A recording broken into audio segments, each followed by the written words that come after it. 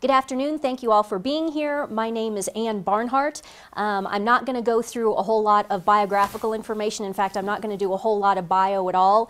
If you or anyone out there on the internet is interested in learning about me, all you have to do is Google my name, A-N-N-B-A-R-N-H-A-R-D-T, and you can enjoy hours and hours of reading and uh, video watching fun. I'm not going to waste time with, with biographical information because we've got a lot of ground to cover. Furthermore, it really doesn't matter who I am. Um, all I'm doing is I am relaying to you objective reality, objective truth. Who I am really doesn't make a whole lot of difference. If you all want to think of me as nothing more than the weather girl, then that's fine by me. I'm just communicating this information to you. All right, let's get started. The title of this presentation is The Economy is Going to Implode and You Deserve to Understand Why. Um, most people out there have absolutely no idea of what is going on in the financial markets, in the economy, and they especially do not understand the scope of what's going on in the financial sector and in the economy and the fact that we have now passed critical mass and it can no longer be saved. What I want to get out in front of people is the very basic nitty gritty in layman's terms of what's going on so that the average American out there can understand the true gravity of the situation. And I'm also going to impart a few suggestions for what can be done to fix the situation after the collapse, after the war, and in the rebuilding phase. Because if you're watching this, chances are you are going to be in that class of people who is going to be morally tasked with rebuilding this nation and this civilization. There's some things you need to know. You need to understand how this system is broken, and you also need to understand what you're going to need to do to fix it and get it back on the right track when you come out the other side of this. Um, for those of you out there on the internet watching, a lot of you will be saying, well, you didn't go into enough detail about this. You weren't technical enough about that. Guys, you got to understand what my objective here is. My objective here is not to dive into the absolute minutia of the MF global collapse. These people don't even understand what repos are. These people don't understand what CDS is. They don't understand any of these things. I just need to get a very basic primer in front of them so that they can understand these things. Um, also, do not email me and say, um, why didn't you talk about this? Why didn't you talk about that? Why didn't you talk about the other? In order to get just the very basics covered, we're looking at two, two and a half hours, I'm estimating here. Okay? Most people in this country have about a 30 second attention span, so you can see the wall that I'm up against here. Um, if you think that there's a topic that I didn't cover that needs to be covered, God bless you. Make your own YouTube. Put it up on the internet so that everybody can see it. But I'm just going to cover what I think is the very basics in this presentation, and hopefully we'll get it under 230. Question How much of your wealth is allocated as zeros and ones on computer servers? How much is physical in your possession and defensible? For most people, the bulk of their wealth is completely indefensible. The bulk of their wealth they have really no true custody of, and it could be confiscated, instantaneously. What I've been saying to people for months and months and months and going on years now is, is that if you can't stand in front of it with an assault rifle and physically defend it, it's not really yours. Anything sitting in any sort of an account doesn't actually exist it is doesn't exist physically. It is zeros and ones on a computer server. And you have to trust the people behind the computer servers, A, not to confiscate it, and B, to allow you to have access to it, and that it is going to have zero counterparty risk when you get it back. These are all questions that are monumentally huge. MF Global, 1.6 billion in segregated, sacrosanct customer funds, confiscated, stolen, like that by Jon Corzine and his cronies at MF Global. Um, PFG Best, Another Ponzi scheme, 225 million in customer funds, never actually existed. The whole thing was a Ponzi scheme. Me personally, I can testify to this. This is being recorded on November 2nd, 2012. A week ago today, I have declared a federal tax strike. A week ago today, the IRS levied my personal bank account. Bye-bye money, gone. It will, and I'll never see it again. Okay, so if this money is sitting in these accounts and it's just zeros and ones on a computer server, you have to understand the massive, massive risk. And, and people in this culture, we're so used to the rule of law, we're so used to the sacrosanct nature of our accounts that we cannot even fathom the possibility that our money could just be confiscated and taken away. You have to understand the risk that you are, that you are standing right now, every one of you. It doesn't matter how honest your brokers, wealth managers, or local bankers are. The problem is systemic and it will touch every person on earth. I hear this all the time. I have people call me all the time and say, Well, I'm all right because my broker is a great guy. I'm sure your broker is a great guy. I'm sure your banker is a great guy and wouldn't dream of stealing your money out of your account. That's not the counterparty. That's not the danger. That's not who we're talking about. We are talking about what is called the federal government. We are talking about the entire global financial system. It doesn't matter how honest your brokers are. This is why I shut down my commodity brokerage because I knew after MF Global that I could do nothing nothing to defend my clients and their assets that were sitting in my commodity brokerage. It doesn't matter how awesome and how honest I may be. There was nothing I could do to protect my clients. If my FCM went under the same way that MF Global went under, and my FCM did eventually go under about seven months later, not in the same fashion, but it went under. I could not protect my clients. I didn't have the wealth myself to backstop my clients' accounts. If their money got corzined, so to speak, the way the MF Global customers got corzined, I could not have done anything to help them. And I could not live with that. You can steal all of my money. You can take everything I own. You can put me in the gutter to where I'm living in a refrigerator box under the bridge that's fine. But you're not going to take my client's money. So I had to shut my firm down and I had to get them out. That was the only moral option for me. You have to understand this. It doesn't have anything to do with how, how honest and good your local guys are, because this isn't a local problem. This is big. This is as big as it gets. What is money? First of all, um, as you're watching and going through, um, we have the workbook available. You should have been able to download the workbook off of the link underneath the YouTube clip in the information section. So you've got your workbook hopefully at home if you want. The fellas here in the room, they all have their workbook. The way it works is, is on the slide, this turquoise number here is the page that I'm on in the workbook. The first three pages of the workbook was just very simply uh, the going galt letter that I wrote in November of 2011 when I shut down my brokerage firm. That's just provided for you. That's the only biographical information I'll provide. You can see pretty much how I feel and what happened to me by reading that letter. Now we are into the workbook and we're on page five. The question is, what is money? Money is a fungible proxy for man's ability to reason, labor, create, and produce. People do not understand what money is.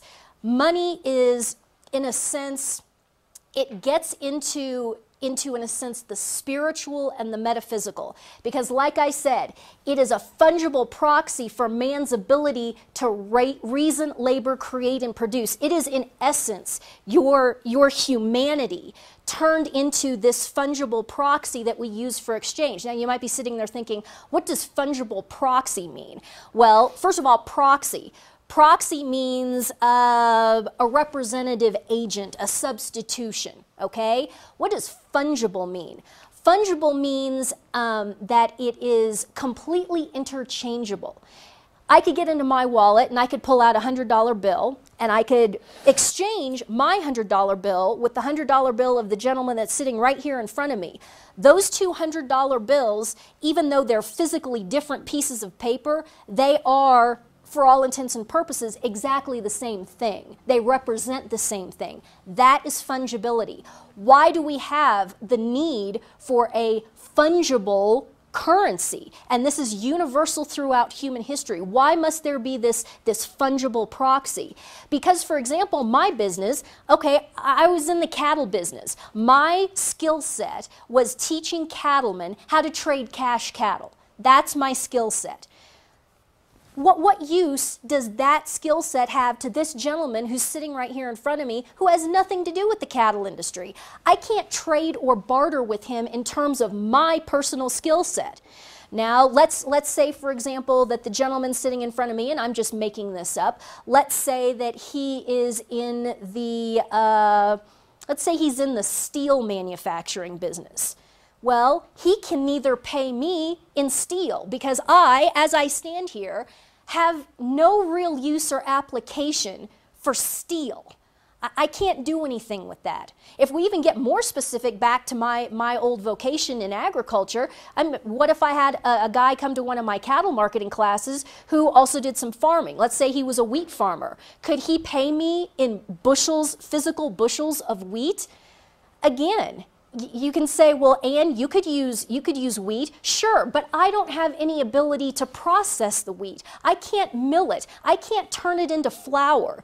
And even then, do I need how, how many pounds of flour do I need? Really? How many can I personally consume? So you can see why humanity, from the very earliest days, went to this system where we have to have this fungible proxy, this currency that we can exchange with each other that is a proxy for our, our labor, our, pro our productivity, our creativity, etc., etc., so that we can all have an extremely efficient means of doing business and having economic activity with each other without having to find the person who deals in exactly the commodity that I need right this second, and then can I even process it or not, etc., etc., etc. Okay? That's what money is. At the end of the day, it is a proxy for your humanity. Your humanity, your ability to work. Don't forget that because that's so important. What is fungibility? We've already gone through that. It's the ability to mutually substitute individual units okay? Humanity started using precious metals as that fungible proxy. They looked at gold and silver and they said, hmm, look at this, this interesting, beautiful yellow metal that we can dig out of the ground. Um, it's very pretty, it's, uh, it's rare, and it doesn't rust, it doesn't erode or corrode. So let's do this. Let's dig this metal out of the ground. Let's turn it into coins, and then those coins will be what we use to substitute for our ability to work and labor. Ah, good idea. Okay, and then humanity evolved into paper currencies, and we'll talk about paper currencies a little more in a bit. As I said, my ability to teach people how to trade cash cattle is not is not terribly fungible. It's very specific.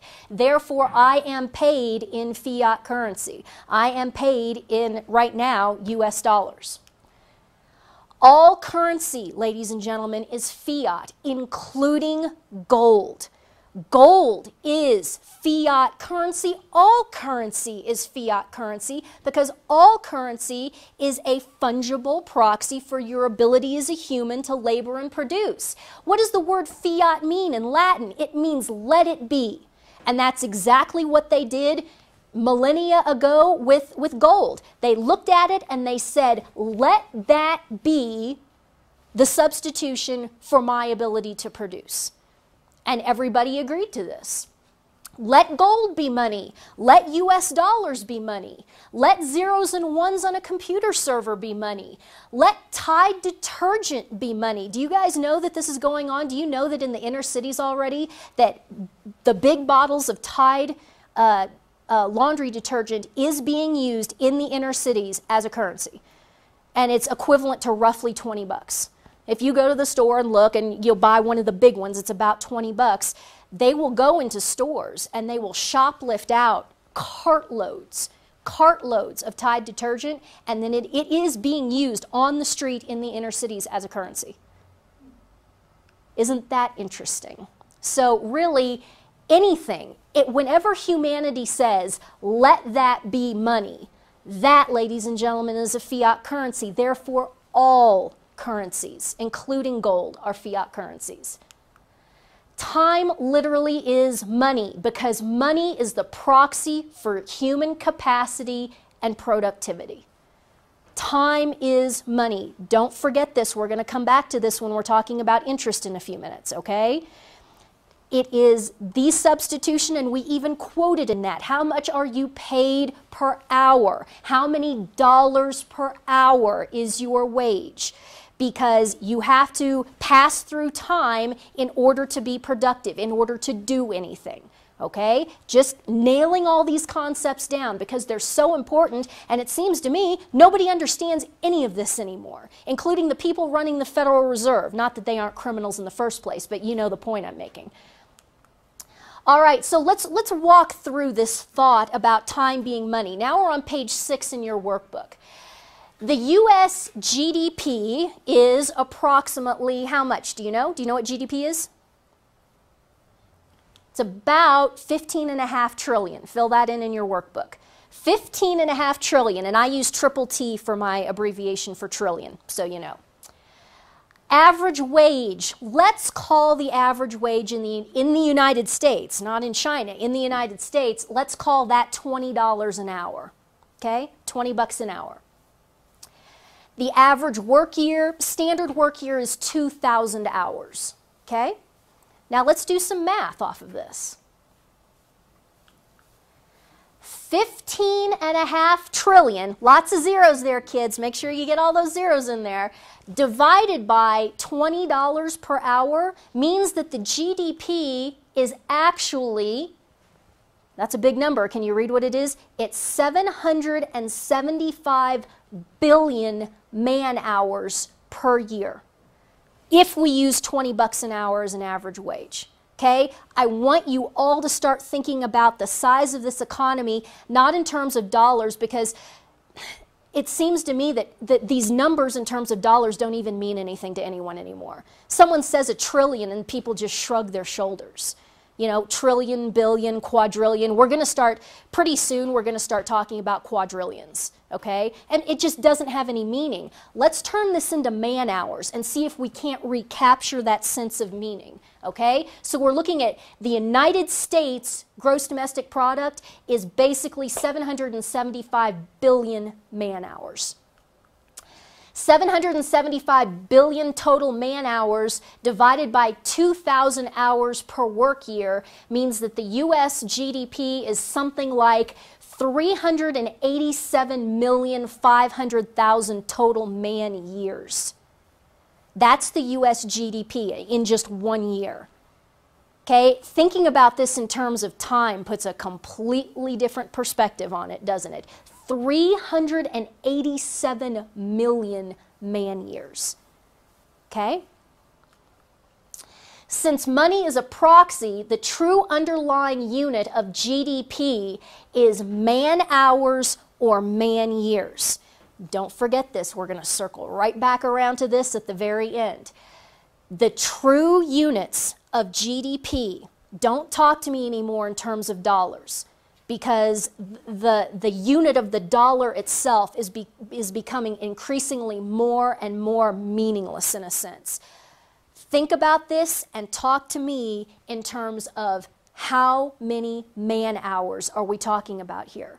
And then think about the levels of debt in terms of man hours. Because, ladies and gentlemen, that is how it will be paid. It will either be paid in man hours, land acquisition, or blood.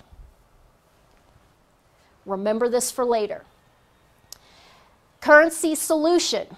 On page six, jot this down. Here's a solution for you. after the collapse, after the war, when you all come out the other side, you're going to have to understand this. The gold standard is not necessary. And here's where all the Ron Paul people's heads are going to explode. I don't care. You need to understand this. I don't care. You need to understand this.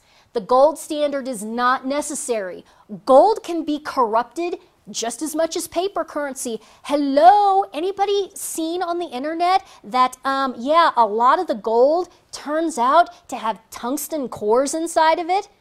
They're finding bullion in New York City, bullion with tungsten cores, with just a gold, uh, not leaf, but just a gold veneer on the outside. You, you all stacking this gold, you're going to have to get a drill out or get some sort of a device to see. Uh, there, there are sonic resonance devices, I believe, that can assay uh, a piece of gold bullion. But um, yeah, gold can be corrupted just as much as anything else. Think about Rome. What did Rome do to its metal coinage? It debased and debased and debased and debased. And it did it with the silver. It did exactly what we did with our, with our coinage. It started out being almost 100% silver, and by the time the Roman Empire collapsed, the, the coinage was basically 0% silver. There was so little silver in it that it was just trivial. You can debase you can debase metals just like you can debase a paper currency. So get off of this notion that you're, oh, we have to go to the gold standard. It could help in the beginning as a step back towards integrity but don't get fixate, fixated on it and think that that is the complete and total solution to all of the problems. It isn't. The other thing to remember about going to a gold standard is imagine if we did that. Imagine if Obama did it tomorrow. What would they do? They would lie and they would say we have X number of tons of gold at the Federal Reserve or under the World Trade Center or in Fort Knox. And it would be a complete lie.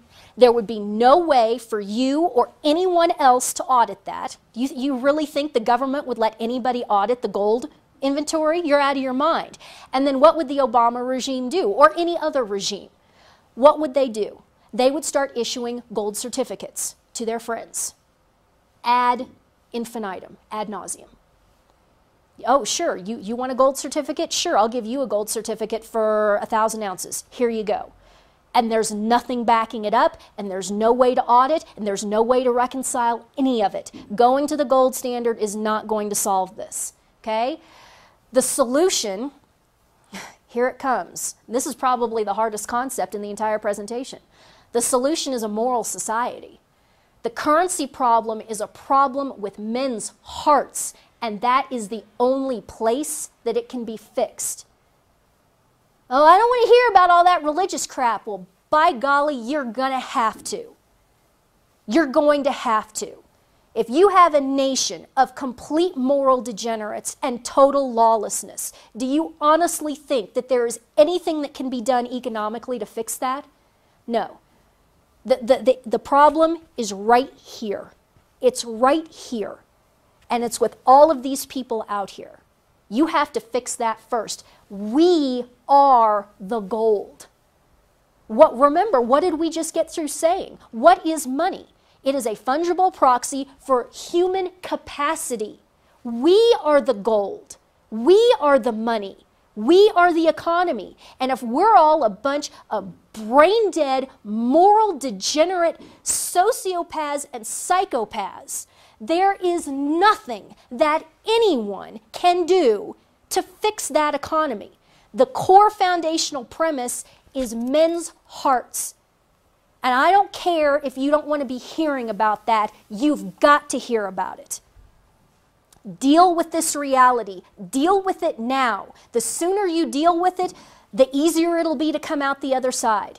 If, if you want to fight an entire massive global war where hundreds of millions, if not billions of people die in order to learn this lesson, then by God, that's what's going to happen. But you could nip that in the bud, come to this reality now, and, and assuage all of that. The choice is yours. And frankly, I'm not too terribly optimistic about the whole thing, but I'm, I'm kind of a realist. Interest on money is therefore utterly essential from both a moral and an economic perspective. 0% interest, which is what we have right now, and what the criminals in Washington, D.C. have put into place, says that a man's capacity to reason, labor, create, and produce has no time value. Money is the proxy for your ability to be a human and to create and produce. So, all the money that you have, you have earned through your human activities to create and produce. Now you've got, let's say, $100,000 in your hand, and you want to loan it to somebody else. You loan it to somebody else. You let them use that money, which is a proxy for your very existence for a year.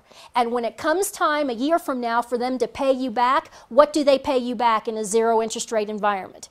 They pay you back just the initial principal with no payment or compensation to you whatsoever for the time, for the productivity that could have been generated over that year to you through the use of that money, which again, the source of that money is your own humanity itself. Th- this is insane. This is morally wrong. When you hear anybody talking about eliminating usury, eliminating interest, completely reforming the banking system so that there's no interest, these people are insane, they're evil, and what 99.9% of all of that talk is rooted in is anti Semitism. It's anti Semitism. You dig on that just a little bit, and you're going to find that you're dealing with people who have some rabid, pathological need to blame everything that bad that happens in the world on the Jews. Um, sorry, I don't, I don't tolerate that crap. And that's what it is it's crap. Interest is moral and it is utterly essential to a properly functioning economy. An economy cannot function without interest, which is why this zero interest rate environment that we're in is destroying us. There are two overarching political systems built upon the worthlessness and hatred of the individual man. Those two political systems are Marxism and Islam. There are also two political systems that forbid interest, and those political systems are Marxism and Islam. If you think that's a coincidence, I've got a big red bridge out in California that I'll sell to you real cheap. The reason that Marxism and Islam forbid interest is because they view the individual man as nothing, as less than nothing. Even less than nothing, it's built on the hatred of the individual man. And again, what's money? It's a proxy for the capacity of the individual man to labor, reason, and create. This is obvious. This is obvious. And yet, nobody can make these connections. Matthew 25, the parable of the talents, break out your scripture and read it. Even if you're if you're not a Christian, even if you're an atheist, even anybody, read it because this this positively shoots down the entire notion that there isn't supposed to be any interest. And there's a lot of really dim-witted Christians that are falling for this right now. So it has to be corrected roughly speaking, in very quick terms, the parable of the talents, there are three servants, and this is a parable. It's not an actual event that happened. It's Jesus telling a story, a parable, in order to make a point. There are three servants. The first servant is given, I think, uh, five talents, which is a unit of money. The second servant is given five, and the third servant is given one. Um, you might want to check that. I might have the quantities off. The master leaves and then he comes back. When he comes back, the first servant who is given 10 talents, he's gone out, he's invested the money, he's doubled the money. Okay, he's got 100% ROI. He gives the master back the original 10 in principle, and then he gives him back another 10. Great. Second servant, same deal. He takes his five, he goes out, invests it, generates 100% ROI, gives back the master the five in principle plus the plus additional five in profit. The third servant, very interesting. That's a servant that only got one talent. The third servant that only got one talent went and buried the thing in his backyard. And then when the master came back, he gave the master back the one talent principle and no return. Read what our Lord says in the scripture You wicked servant. Thou oughtest therefore to have committed my money to the bankers, and at my coming I should have received my own with usury. It's out of the Douay Rheims translation, which is the most authoritative translation there is. The word used is usury. You should have put it in the bank at bare minimum and returned it to me with interest. This is out of the lips of Christ himself. Yes, the parable of the talents is speaking about the spiritual gifts that we are given. You are obliged to use those gifts and then return them. Of course, that is the, the spiritual theological aspect of the parable. However, our Lord could not, would not, and did not, and will not ever use an, an evil activity. If you're going to argue that interest is an evil activity, there's no way that he ever could have or ever would use interest as an example of a virtue. Do you see that? This is, this is so incredibly important. He's never going to use an evil activity to illustrate a virtue. And so, just by virtue of the fact that our Lord used interest as an example of what somebody should have done in the parable, tells us that interest, reasonable interest, not excessive interest, but reasonable interest, is absolutely ratified not only that, but you could even argue by his use in, in this parable that it is economically essential, which it is. Okay? So anytime, I, I just can't overemphasize this for all you Christians out there who are so ignorant and are being so poorly catechized and so poorly led by your brain dead, super fun rock band pastors, and I even hesitate to give them that title. You have to understand this. You can't have an economy that functions without interest. The moral and theological consequences to that are massive and awful. There are already numerous nations that are operating not only at a zero interest rate, but at a negative interest rate. You can jot these down if you want to. They are, right now, Switzerland, negative bond yields, Denmark, Germany, the Netherlands, Finland, Austria, and almost, almost the United States. We are, for all intents and we are at zero, okay, on, on Treasury paper. And we will probably go negative within the next several months, I would guess. I don't know timelines, and it's always iffy to be making time projections, but we will go negative. So, what does that mean? It means if you go to, for example, Denmark and you buy a bond, you buy a one year bond in Denmark, you give them a hundred whatever, euros, whatever, and at the end of the year, you get 99.50 back.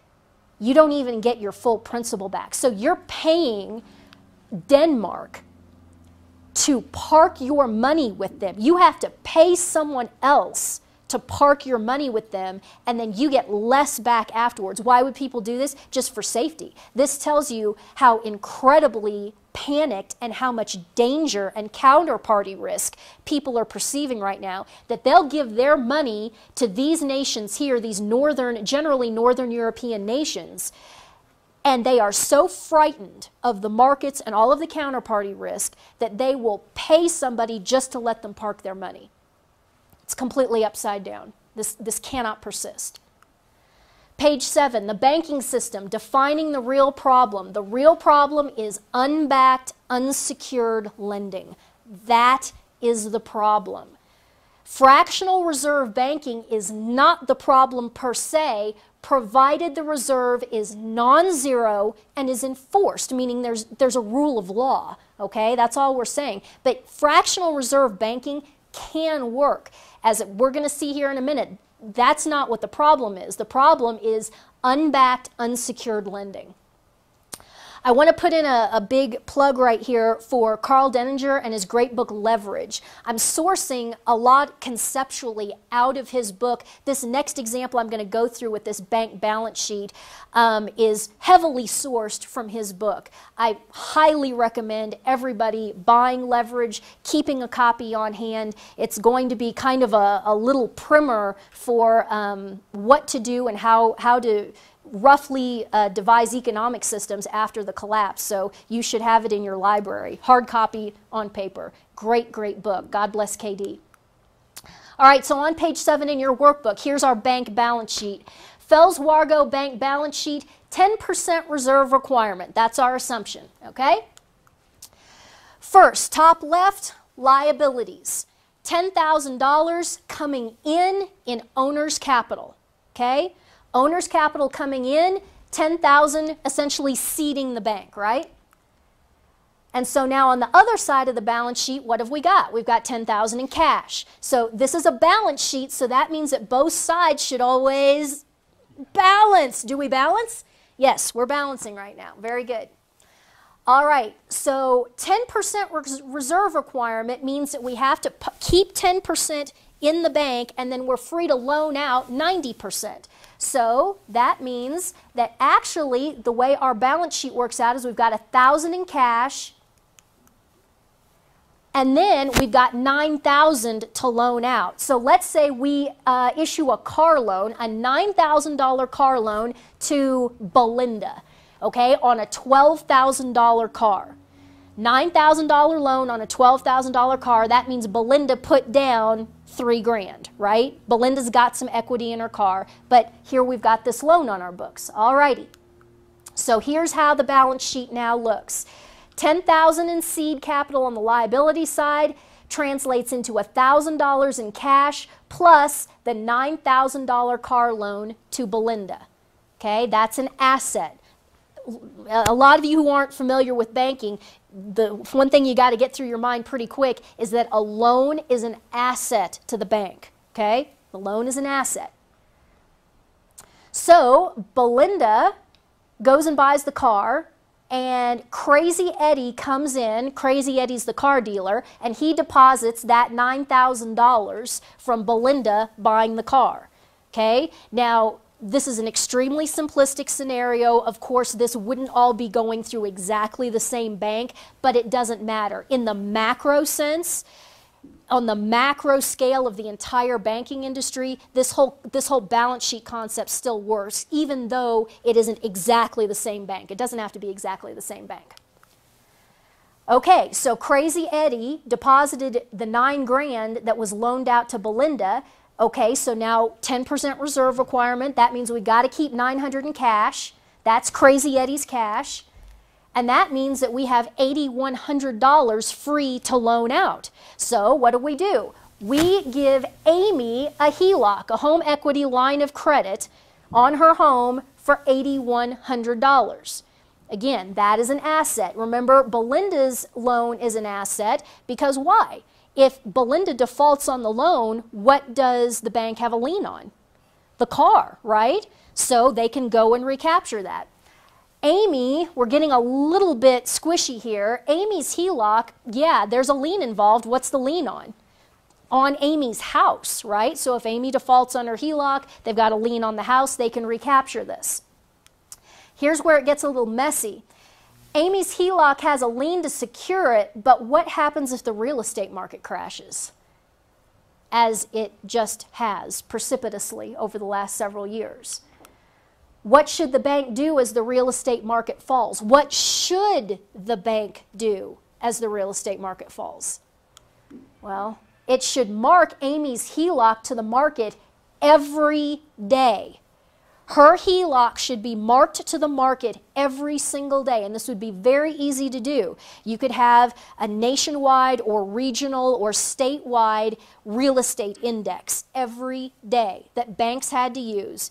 And, you know, somebody, a central authority could calculate every single day, okay, how are we going to mark these things to the market? All right? And it could, it could be done very, very easily off of an index. It should mark Amy's HELOC to the market every day and post bank capital dollar for dollar to cover the shortfall, either with owner's cash or by the bank selling bonds. You see that? But one way or the other, what has to happen, what needs to happen, and after the collapse and rebuild, you have to understand this. These banks have to be honest on their books and their balance sheets about the values of these assets, of these loans. And as soon as an asset loses value, there has to be money posted by the bank on the other side in order to balance it out. If you just let it be a free for all and the banks can just go willy nilly and they can mark they can mark their loan assets to whatever BS they want to, you're going to have another banking collapse all over again. You have to do this in order to fix the banking system. That's to whatever BS they want to. You're going to have another banking collapse all over again. You have to do this in order to fix the banking system okay? And again, it's either bank owner's capital coming in or the bank can sell bonds, right? So the bank is essentially borrowing money from investors, it's paying back interest on that. That's perfectly fine. That's fine too. All right, so this is what the balance sheet should look like. We gave Amy uh, initially an $8,100 HELOC, but the real estate market has fallen, so now it's only valued at six over here on the asset side. And so then what does, does the bank do to make up the other 2100 Owner's capital infusion needs to come in here on the other side. Okay? And then that's your 2100 in cash, bank owner cash right there. That balances, that's correct and that's healthy. But that's not what the banking industry does. This is good banking. There are only a relative handful of banks in the United States doing business like this. Most are small, privately held, rural banks. You know, that are some guy who's in his 60s, 70s, or 80s who has a brain in his head, who's running his bank properly, who doesn't make bad loans. And when he does, there's always dollar for dollar more than enough bank capital coming in on the other side so that if there is a default, nobody's at risk. The money is always there. There are only there are only 300 and some odd banks with a perfect Texas ratio score, which is basically what that means. Not only that, but the FDIC and the bank inspectors come into those little banks that are doing business properly and they write them up and they browbeat them. Why, what do they write them up and browbeat them for? For having too much cash and not making enough loans. In other words, you, we insist we are going to attempt to force you to do what's basically accounting fraud. And furthermore, we are going to punish you and browbeat you out of business if you refuse to give loans to people who you know have a massive risk of defaulting. Welcome, welcome to the world. Welcome to the United States of America. And let's be completely bold and upfront about this. A lot of all of that is driven on race lines. Okay? You have to give somebody a loan if they walk in the door and they are not white. And if you don't give them a loan, then we're going to write you up and you're one of, you're a dirty fat cat, blah, blah, blah. I, ha I had a banker acquaintance. This is a true story Guy walked in the bank, wanted to get a loan to buy a used vehicle. Okay, walked in, sat down in this gentleman's office who was the president of the bank, and it was a small rural bank. And he, the, the guy is sitting there. I almost called him a kid, but he wasn't a kid because he was probably in his late 30s. And he's making the pitch to the banker why the banker should give him this loan to get this used vehicle. The guy is sitting there across from the banker, and he's wearing a t shirt. And the t shirt says, and I quote, What are you looking at, dick face? Just, just stop and think about that. What, what kind of a man would buy a t shirt like that? What kind of a man would leave the house wearing a t shirt like that? What kind of a man would walk into a banker's office asking for a loan wearing a t shirt like that? And in this civilization, the banker is punished because he will not give the loan to the guy wearing the t shirt saying, What are you looking at, dickface? Are, are, are you wondering why our entire civilization is going to collapse? That's it right there. That's it right there in a nutshell. So the way this balance sheet should look is, or excuse me, I just showed you what it should look like. This is the reality. This is the disgusting reality. They leave Amy's HELOC on their asset side at 8100 valued it at full price even though the real estate market has collapsed it's only worth 6000 this balance sheet does not balance. In fact, this is a crime. This is accounting fraud. Failure to mark Amy's HELOC to the market is accounting fraud, but this is legalized. It's not just legalized, it is encouraged, it is mandated, it is forced by the government. They've been these banks have been forced into this. And now, you know, they're just going along with it happily. And there's only a handful of guys who still insist upon doing business correctly. This, this will never work. You can't have a banking system survive like this. If Amy defaults on her HELOC and the bank owners cannot come up with the 2100 to cover the difference, where will the 2100 come from? It's going to come from the depositors. And you say, well, no, Ann, that's not right. There's FDIC insurance. What do you think FDIC is? It's a tax on every one of you. Because if, if banks fail and the FDIC doesn't have the money to, to pay out on this, and if there's a big enough collapse, how's that money going to come into the FDIC? The Fed's going to print it and give it to them, which is doing what? debasing the currency, which means it's a tax on every one of you. So the depositors will pay for it one way or another, be it directly by having their, their accounts uh, swept which will eventually happen at the very end stages of all of this. And in the interim, it'll just be via government bailout, government bailout, government bailout, which is just the Federal Reserve printing money, which is just debasing the US dollar, which is a tax on you. Okay, so Amy takes her $8,100 HELOC and let's say, just for example, she decides to put on a deck, okay? And Lou is the deck guy. So she puts on a deck, Lou comes in and deposits the 8100 and now here's 810 in cash in Lou's account. And the bank, therefore, has $7,290 that it can loan out. Now it's going to get really hairy and disgusting because what does the bank do? It opens a credit card account for Michelle and Michelle takes the 7,290 bucks on her credit card and buys a luxury vacation. Okay, now before with Amy's HELOC, we've got a lien on the house, right? At least there's there's a piece of physical property that can be recaptured if, if she defaults. Same with Belinda. Belinda's got this car. Okay, you can repo the car. What about Michelle's luxury vacation on her credit card? What's the lien on there? Nothing, because the, the luxury vacation is experiential, it's not physical.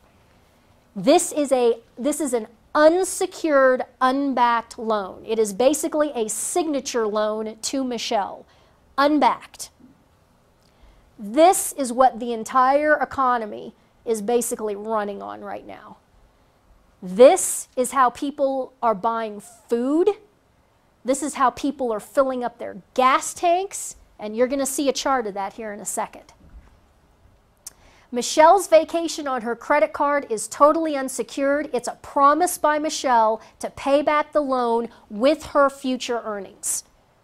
Again, time being money. Michelle is just saying over the next two, three, four, five years, I will pay you back out of my capacity to labor and produce over the next X number of years. Since the money to pay back Michelle's loan does not exist, right? It doesn't exist yet because she hasn't done the work to generate the money. This constitutes naked short selling the currency that the loan was made in, which in this case is US dollars. Another word for this is counterfeiting. That's what all of this is. All of this unsecured lending, all of these unsecured credit cards, all of this debt is shorting the currency. It's like, I mean, it's 10 times, it's orders of magnitude, it's hundreds of times, thousands of times anything that anybody could do with a printing press in a back room, like what they had in the old days. Oh, counterfeiting is is what this entire economy is built on. Nobody's making dollars with printing presses anymore. That's not how it's done. This is how it's done unsecured lending. And it has to stop. It has to stop. The bank can issue the credit card to Michelle if it wants to, if it thinks that she's a, a, good, a good risk.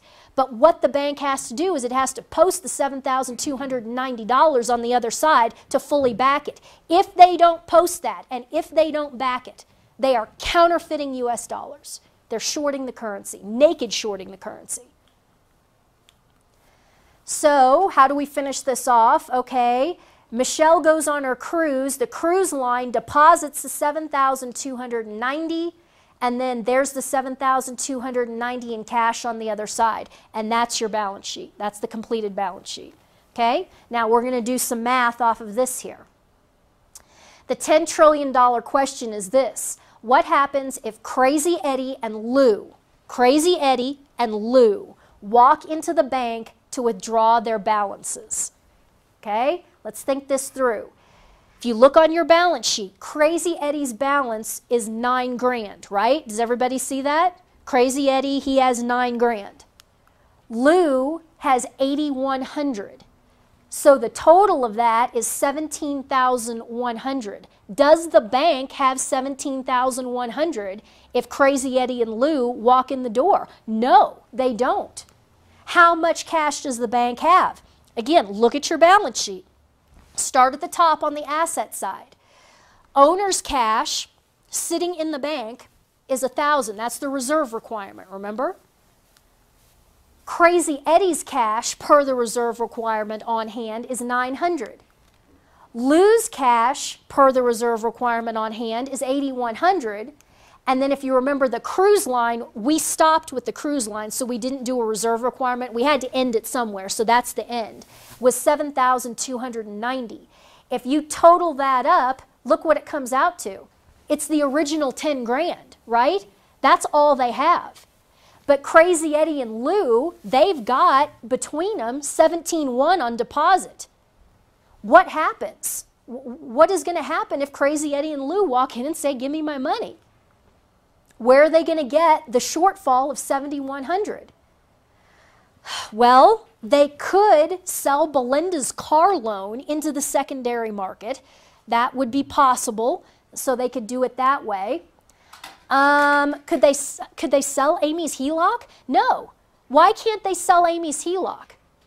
Because it's underwater. It's 20, it, it would be a $2,100 loss if they try to sell that HELOC into the secondary market they're only going to get 6000 for it because that's all it's worth in the market if you execute on it today.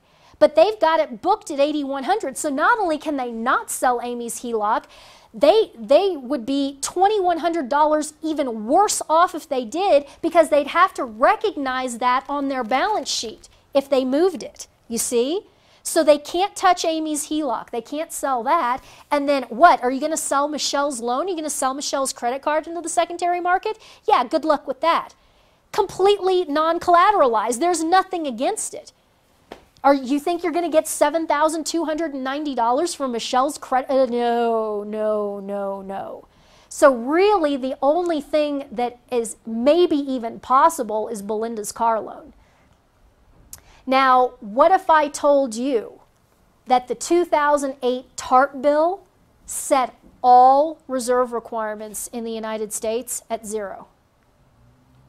We've been using a 10% reserve requirement. The 2008 TARP bill lowered all reserve requirements to zero In the name of what? In the name of boosting liquidity and stimulus. Oh, we got to get these banks more liquid. We got to get them, you know, issuing these loans to stimulate the economy. Boys and girls, to say it's a house of cards, a house of cards is like a steel cage compared to the United States banking system. The reserve requirements are minuscule, I shouldn't even say the reserve requirements, just the reserves being held are minuscule. If Crazy Eddie and Lou demand their cash, this will constitute a bank run and the money will come from the depositors. Again, one way or the other, it's coming from the depositors. Either it's going to come out of their, their sacrosanct segregated deposit accounts, or it's going to come from the depositors and everyone else in the form of government bailouts, which has already happened and happening and continues to happen. And the Fed has said is, it, is that it will go on ad infinitum, Q eternity. Okay, he's just going to keep buying and buying and buying treasury paper, which is going to again be funneled back into the banks. Okay? Well, you say, well, what about FDIC insurance? Seriously? What, what about FDIC insurance, huh? Well, let's see. U.S. total bank deposits today are somewhere between 8 and 10 trillion dollars. Trillion. Between 8 and 10 trillion. How much cash on hand do you think the FDIC has? Well, let's think. 8 to 10 trillion in deposits, and the FDIC has those plaques on every every teller station, every drive up uh, little suction tube station, there's that plaque that says all deposits up to $250,000 backed by the full faith and credit of the United States government. If we've got between 8 and 10 trillion in deposits, how much do you think that the FDIC has on hand? Try 11 billion. Between 8 and 10 trillion in deposits, 11 billion in FDIC assets as of the latest numbers. And realize that a couple of years ago, the FDIC was actually in the hole. They had less than zero. What they had to do in 2000 and I believe it was 2009 is they had to collect 3 years worth of premiums in advance because they were completely insolvent and in the hole. And in order to get themselves to the point where they had any money at all, they had to collect three years of premiums from the banks in advance. And even with that, right now they're sitting with 11 billion. Good luck with that. So if we think about this, what if 25% of the banking capacity in the United States fails? Okay, we're looking at billions of dollars. Billions of dollars excuse me, trillions of dollars. See, I, even I get confused with these numbers. You're looking at trillions of dollars, and you've got 11 billion to cover it. Okay, so what, what would happen? How would they come up with the money? Bernanke would print. And by print, understand, again, we're not talking about printing with printing presses. We're talking about the Federal Reserve opening up their computer spreadsheet and just typing in one, 000 000 Enter. Trillion bucks. There you go. Buy U.S. bonds. And then it goes to the banks. That's what we're talking about here. And every time they do that, it debases the currency and it causes inflation, which is why when you go to the store, the last time I went to the store, just me, just little old me, 150 bucks buying groceries. Wow. 150 bucks for just a single person buying a few groceries. Why do you think this is happening? Because our currency is being massively, monstrously, willfully, consciously debased and destroyed. The Obama regime has so far debased the currency by what, $6 trillion? 6 trillion? Yeah, in a $15.5 trillion GDP kind of an economy, you've, de you've debased the currency by flirting with half the GDP. You think there's no consequences for this? You think this can just go on and on and on and on? No. In fact, the damage is so profound and so far along that critical mass has been reached and we can't walk it back. There's nothing that can be done now to walk this back.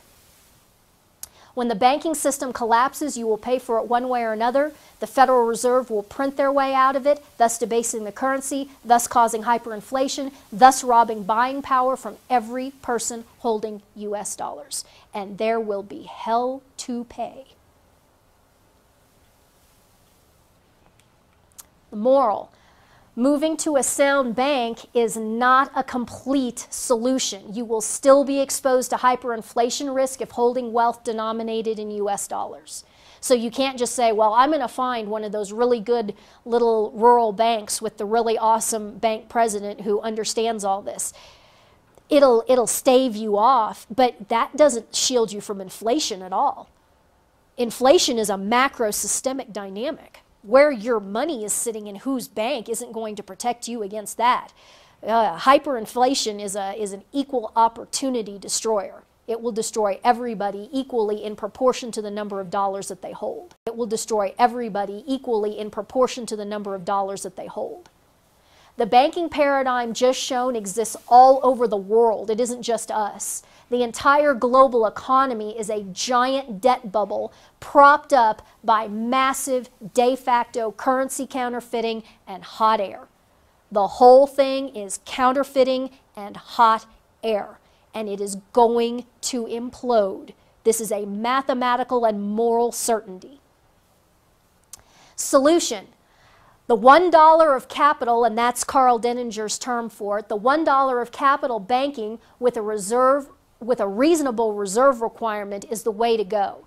So banks can issue unsecured loans. They just have to post bank capital on the other side, dollar for dollar. That's why he calls it $1 of capital. And the same thing goes to being honest about marking to the market every single day all of these physical loan assets, namely in the form of real estate. That nips this whole real estate bubble dynamic in the bud if you force the banks to post the differential when the real estate market deflates.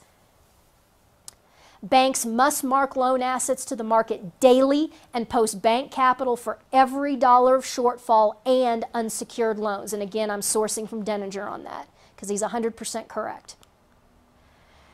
And here's the Denninger axiom there has not been a single three month period in the U.S.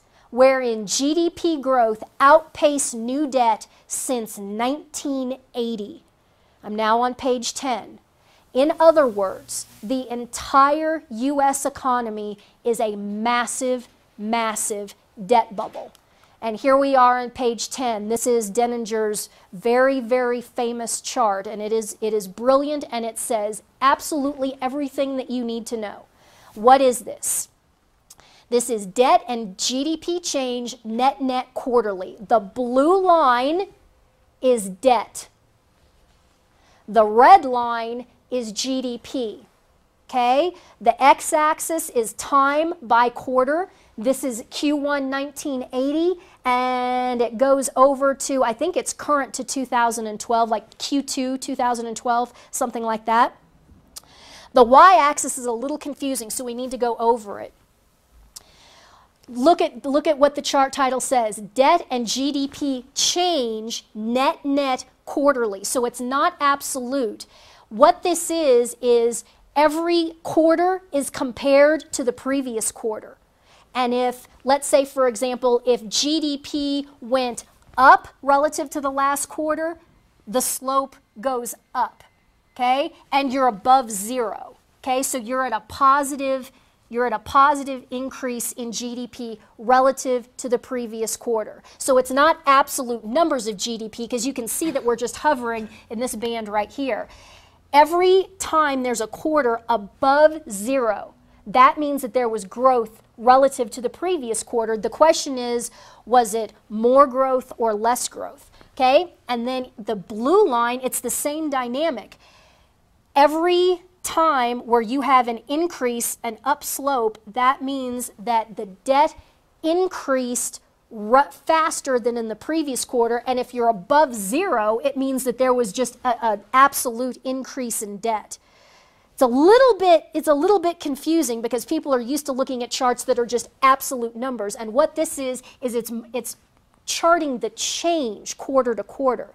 Okay? So stop and think about this. What this is saying is that, yeah, GDP, since this is the zero line right here, GDP has been growing most quarters. Here's a down, and it just barely went under zero. That would be a little bit of a contraction. This would be a little bit of a contraction. Here's a contraction here. Here's a big, big contraction here. That's 2008. Okay, but mostly relative to the previous quarter, the GDP is just gently, gently growing. Okay? Gent gentle growth with this mess over here. Look what the debt is doing at the same time. And this is overall debt.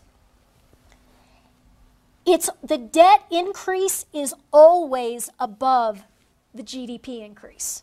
There's just there's a tiny quarter right here and then you have to get over into there before you have any instances where the debt growth was not in excess of the GDP growth. That right there tells you we've got a problem. Okay? If you want to have any conversation about delevering at all, what does that mean? That means that the blue line has to be beneath the red line. That is delevering. Anytime the blue line is above the red line, that's not delevering. That's more leverage. And then Denninger's point is this phase right here, I mean, look at this, this increase in debt. This is criminal. People should be tried for treason and upon conviction be put against a wall and shot for this because this is economic treason. L look at look at this. Look at this. Right here, this point here and this point here, that's a 7 to 1 ratio, which means in order to get $1 of GDP growth down here, they had to pump $7 worth of new debt into the economy to get $1 of GDP growth. And this is, what is this? This is 2004. This is, this is 2007, 2008, and then this is the great collapse of 2008 right here. And yes, the blue line went under zero and it went under the red line, but oh no, we have to we have to bail everybody out and we have to get it back up and into the into that increase the leverage dynamic again. Okay? Th this is terrifying. This entire economy since Carter has just been blowing and blowing and blowing a massive debt bubble. The deleveraging will happen. It must happen. And it is going to happen soon. And you, I mean, think about that. Think about, think about the technological advancements since Carter. Think about all of the things that have been added to the economy and then, and then ponder what that deleverage is going to look like and what's going to happen. We're talking about civilizational consequences here, existential civilizational consequences, because this will have to be deflated. It will, it will happen. The universe will not allow that to go un uninflated. All the computers, the, the, the advent of the internet, the advent of the internet is right here, okay? And one could argue that, that that is kind of the beginning of when the big explosion started to come. Sure, you could make that argument. Historians will, will parse through all of this and will be writing about all of this for centuries, if not millennia to come, about what, what has happened here and this bubble. It's terrifying. All right, so now that we understand that, let's go through the debt cycle so that the layman out there watching can understand what exactly is going on. Okay, we're on page 11 in your book, and I've got everything color coded. So you guys in the audience might have to help me with the colors. Um, you start at the top in that top rectangle. Step one of the debt cycle is Spain sells sovereign bonds at 6%. Okay, here we are, we're Spain. We are going to sell sovereign paper. We're going to offer it at 6%. But Ann, the United States is at zero. Yeah, I know. Spain is a hot mess. That's why they have to pay 6% on their paper. Okay?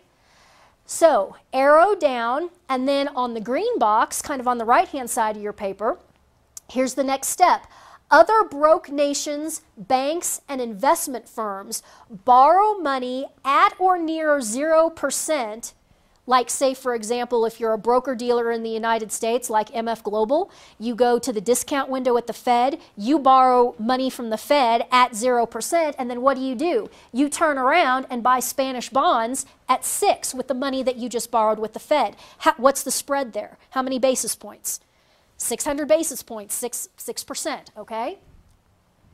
All right, now in the blue box, kind of on the left hand side of your book, European Central Bank prints euros and buys sovereign bonds directly in unlimited quantity. That's the Draghi proclamation of September 6, 2012. The European Central Bank, they aren't even being coy about it anymore. They're not just printing euros, giving the euros to the banks and then letting it trickle into the sovereign paper market through banks. He's not even being cute about it anymore. The European Central Bank is now buying euros and buying sovereign bonds from these European nations directly. I cannot even begin to tell you how bad that is. That is the, the incestuous and the, the fundamental catastrophic disorder with that is just is can't even be described to have a central bank buying the sovereign paper directly. Okay, next square down, which I believe is purple. As Spain sells more and more bonds, which is issuing debt, the Spanish debt to GDP ratio rises. Okay, if you've got this nation that's a hot mess to start with, and they keep blowing their debt bubble, and their debt to GDP ratio just keeps going up and up and up, as the market looks at that sovereign nation, in this, in this case Spain, what is, what is the market's perception? Is that better or worse? It's worse. So if it's worse, what does that do to the interest rate? it pushes it up even more. Okay, so you see, it's this it's this cannibalistic eating your own tail dynamic. The more debt you blow, the higher your interest rate goes. Okay. Next step, turquoise, I believe, as Spain's debt to GDP rises, the economy weakens. We're blowing a big debt bubble. We're a hot mess. The economy weakens. The economy slows down. It goes into a recession. Unemployment rises. Next step down, I believe that box is red. As economy weakens, the Spanish government increases debt, calling it stimulus and welfare. Because remember, as the economy weakened because of the increasing debt GDP ratio, more people are going on welfare and more people are demanding the government to do something. Well, what, is, what should the government do? Well, more stimulus, more stimulus, more stimulus. Well, wait a minute, that's just more new debt which increases the debt to GDP ratio, which just makes the economy weaken even more. And it just keeps cycling and cycling and cycling. Next, the gold box. As Spain's economy weakens further, customers start defaulting on loans because people are losing their jobs. We're in a recession. Of course, people are going to start defaulting on loans. Now, think back to what we just looked at on the Fells Wargo balance sheet, right? Amy defaulting on her HELOC, Michelle defaulting on her credit card. Secured loans, such as real estate, are booked as being worth far more than they actually are, and unsecured loans are unsalvageable. The entire banking system is revealed to be insolvent. Bank runs begin. This is going on. This is already happening in Greece, in Spain, and to some extent it's been happening in Italy as well. Okay? The, the, the poop is hitting the fan in the beginning phases in Europe, and that's what's coming here. Next, the, the green box. Systemic risk increases, thus raising interest rates in Spain. If there are bank runs going on and banks are failing left and right, what does that do to the interest rate market?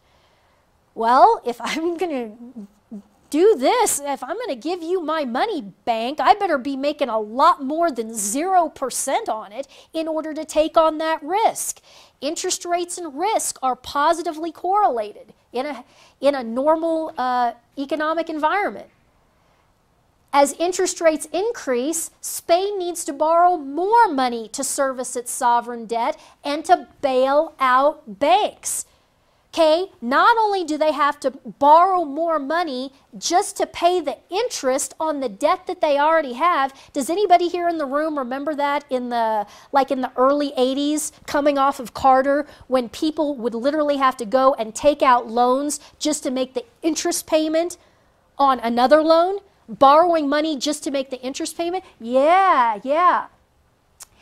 And so blowing the debt bubble even more and then it has to bail out the banks because the banks are failing, right? So, what does Spain have to do? It has to borrow more money from the European Central Bank in order to bail out its banks. This, this just keeps going and going and feeding on itself and feeding on itself. They're not, they're not helping anything over in Europe. They're just making it worse and worse and worse. Why are they doing this? A, because they're a bunch of political whores who will do anything to maintain their position of power. Anything. Number two, a lot of them are imbeciles and do not understand even this simple logical progression. I cannot overemphasize this. Stupid people are running the world. Okay, this whole politically correct thing has been one big culture of let's elevate people who are stupid into positions of massive power to prove how morally superior we are. Guys, this has got to stop. Intelligent people have got to reassert their primacy in the arena of ideas and governance. Oh my gosh, I can't believe she just says she just said that. That sounds so racist. I don't give a crap. Smart people should be running things. Stupid people should not. This isn't unchristian. This is truth.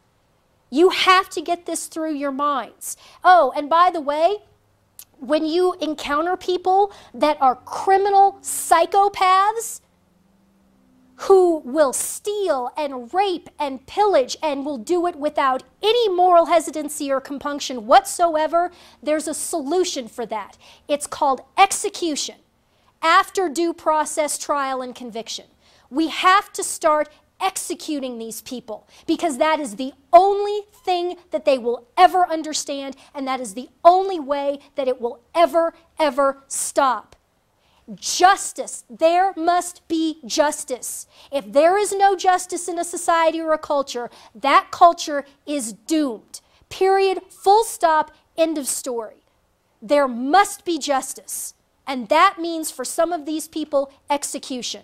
At the head of that list for me right now is, needless to say, Jon Corzine, who stole $1.6 billion worth of customer segregated funds and has contributed to the to economic consequences all over the world, destruction of the markets themselves. If I walked into a liquor store and turned it over for 50 bucks, I would spend 10 years in prison. If Jon Corzine steals 1.6 billion, he should be put against a wall and shot for the good of humanity and also for his own good. Because if he is not punished, he will never repent. He will never repent. If, he, if, if all he sees is living the rest of his life in a villa in the south of France on the Riviera as the consequence of his crime, is he ever going to get on his knees and beg God for forgiveness? The answer is no. So if you're a Christian and you're really thinking about the ends, the, the true ends of these men, it's either heaven or hell. Do I want Jon Corzine to go to hell? Believe it or not, no, I don't. I don't want Jon Corzine to burn in hell for all eternity.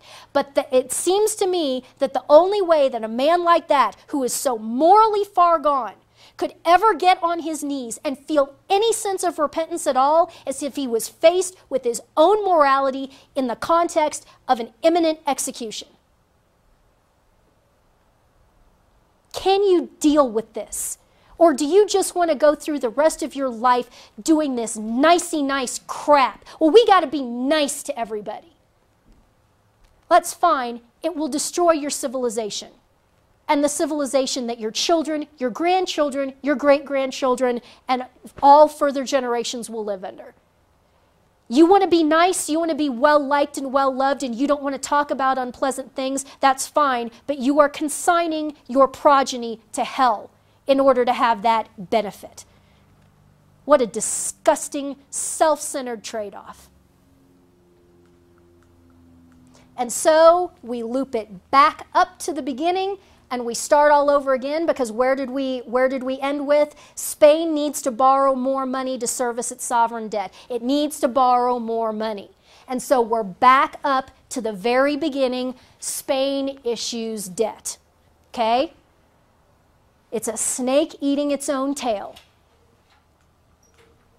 Exactly the same thing is happening in the U.S. with the U.S. Treasury paper being bought by the Federal Reserve as the U.S. government runs up massive debt and bails out banks. When U.S. interest rates uptick, the last vestiges of the now dead republic will implode. This is a mathematical inevitability. Obama alone, and it isn't it isn't just Obama. Don't get me wrong. I'm not some George W. Bush fangirl standing here. No way. No way. But the damage that Obama has done, that regime has done, is so massive. And it was consciously done. It's called the Cloward Piven strategy. It was done with malice aforethought. And it was consciously done. It's called the Cloward Piven strategy. It was done with malice aforethought the damage that that has done and the amount of debt, of new debt. And that, remember, guys, that debt was issued in basically a zero interest rate environment. So that's your starting point 0% interest. If there is any uptick in interest rates. If the Federal Reserve basically loses its grip on the markets and that the actual interest rate market is allowed, is allowed to emerge in the United States, just having the interest rate uptick from 0% to 3%, which 3% was historically extremely low, just going from 0 to 3, that will mathematically implode the entire system. Just that.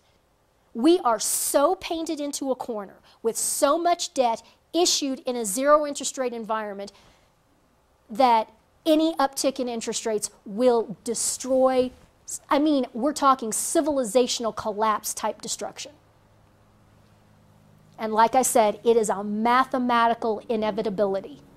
You, are you going to make the argument that interest rates are going to stay at zero forever? Forever because that's what would have to happen. This is the largest financial crime in human history. Uh, that's the understatement of the day right there. This is the largest wealth transfer ever seen by many orders of magnitude. You can look back for some historical analogs. You can try to make analogs to Rome and so forth, but I mean, in terms of scope, there's an, there is no comparison. Now on page 12, the wealth transfer in the European context. What's happening in Europe is Germany and other northern European nations who are on better financial footing. They're not on good footing, but they're at least better than the southern European countries. Okay?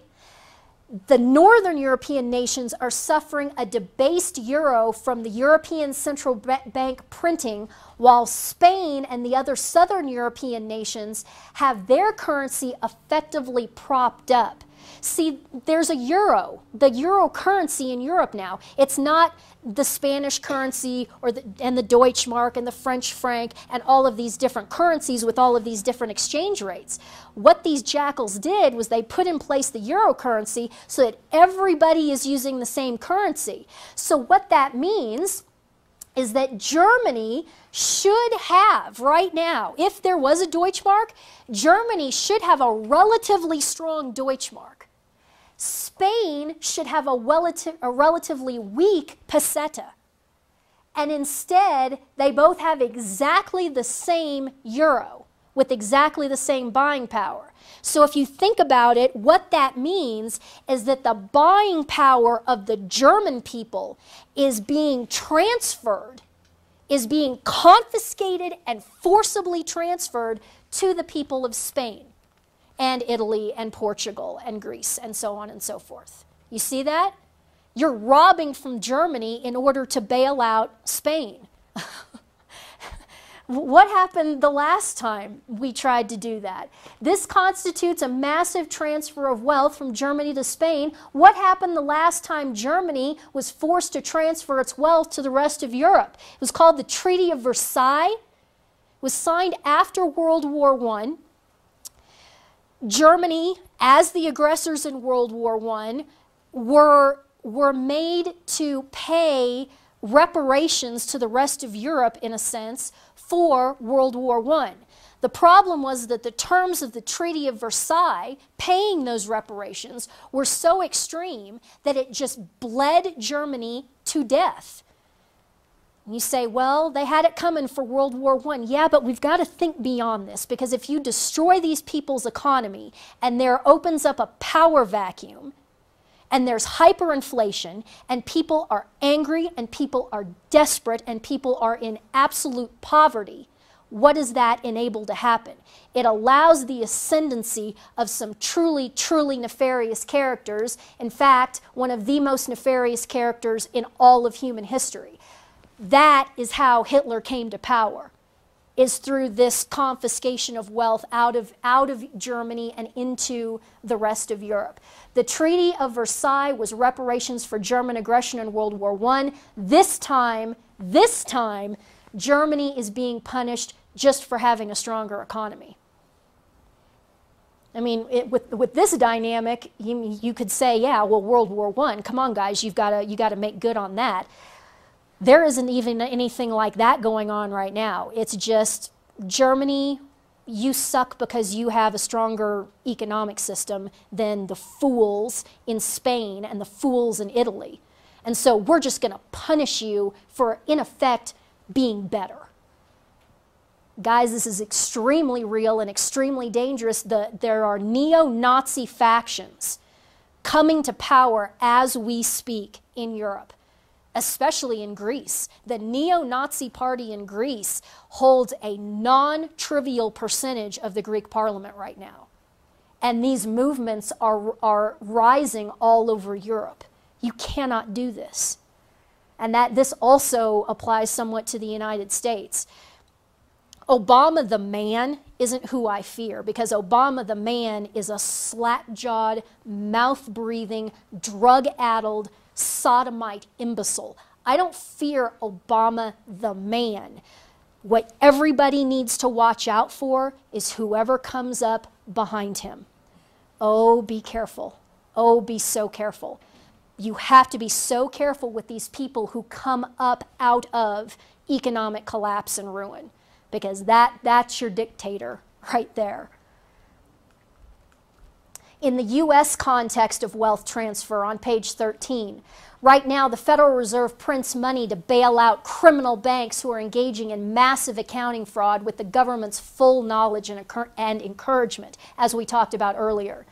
The Fed also subsidizes with printing profligate government spending much of it is fraud, like Solyndra, okay? All of these, all of these solar outfits, every single one of them, they have nothing to do with energy. They have nothing to do with the environment or anything green.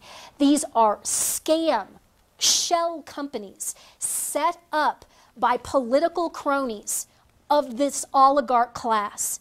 And all of this money going into these solar and so called green companies is nothing more than the looting of the United States Treasury by the oligarch class. Solyndra never had any intention of producing anything. None of these companies ever had any intention of producing anything. And the proof is in the pudding. Take Solyndra, for example. In September of 2010, Solyndra was issued a guaranteed government loan of $500 million, half a billion dollars. 12 months later, there were padlocks on the front door. Now, there are some businessmen in the room here. Just think about that. You're setting up a business, you're in the warm up phases, and you, and you get in a half a billion dollars it would take it far in excess of 12 months to even get warmed up on a half a billion dollar type of a, a business model. And yet, Solyndra had locks on the doors 12 months later. That, that was looting. It's all just government looting. It is 100% theft and criminality. There is nothing about any of that that has any legitimacy whatsoever. That's what's going on. That's where your tax money is going. You're paying taxes and it's going straight into the hands of these political cronies and oligarchs. This is one of the reasons, a sub reason, why I've declared a federal tax strike. I'm not doing this anymore. The, being forced to pay for abortion is, of course, number one on that list, but this is on the list too. I am not going to work and work and work and write these quarterly tax checks to the federal government so that the federal government can turn around and hand this money to their criminal oligarch buddies. I'm not playing anymore. Atlas shrugged playing out in real life. Here it is. Here it is. I'm going Galt. I'm not playing. The Federal Reserve artificially keeps interest rates low, thus robbing savers of any interest income, while real world price inflation increases the cost of living. Think about the retired class in this country right now. These people are, were basically living off of interest, okay? They have been deprived of almost all of their interest income by this zero interest rate environment. Plus, at the same time, they're, they're looking at real world cost of living inflation. They're getting it on both sides.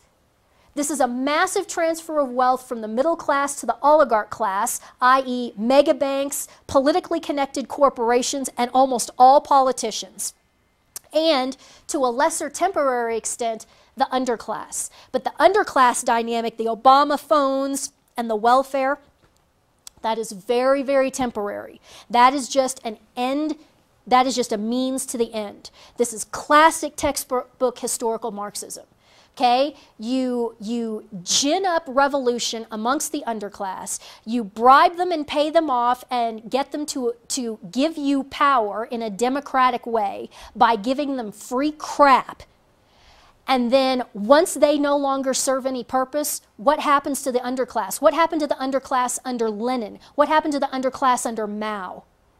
They were murdered, and they were murdered by the tens of millions. So you, you stand up here and say, Well, I, I'm some elitist and I don't care about the little guy. Are you out of your mind? I love the underclass. They are being set up for a genocide, a holocaust, an economic genocide. They are being lined up like lambs to the slaughter, just exactly like the, uh, the proletariat under Lenin and Stalin, and just exactly like the Chinese peasants under Mao, who were murdered by the tens of millions. Am I, do I think I'm more intelligent than they are? Yes, I do. And that's why I have the responsibility to fight this and try to notify them. Yeah, does, does Pookie in the inner city have any idea what he's being set up for? No. Does that Obama phone lady have any idea what she's being set up for? No, she doesn't. And it is the moral responsibility of people like me and you who understand this and have the intelligence to comprehend this and have the historical knowledge to recognize these patterns playing out all over again. It is our moral responsibility to step into the breach and to stand in front of those people and defend them.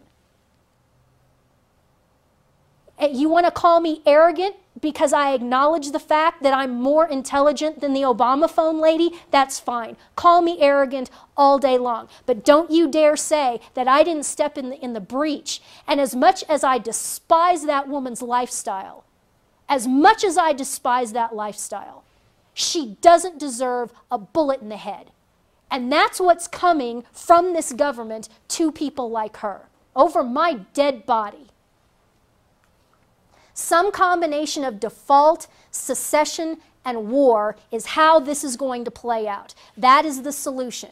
Some combination of default, secession, and war in the United States.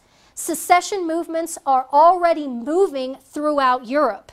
And how can you blame them? Catalonia, which is where Barcelona, Spain is, it's, on the, it's in the northeast corner of Spain on the Mediterranean, right up against the French Riviera. They're moving to secede from Spain. Why wouldn't they? The Basque, which is the uh, north central region of Spain, right there on the Pyrenees Mountains. Now, granted, the Basque have wanted to secede ever since time immemorial, but now they're really, really getting momentum to get out of Spain.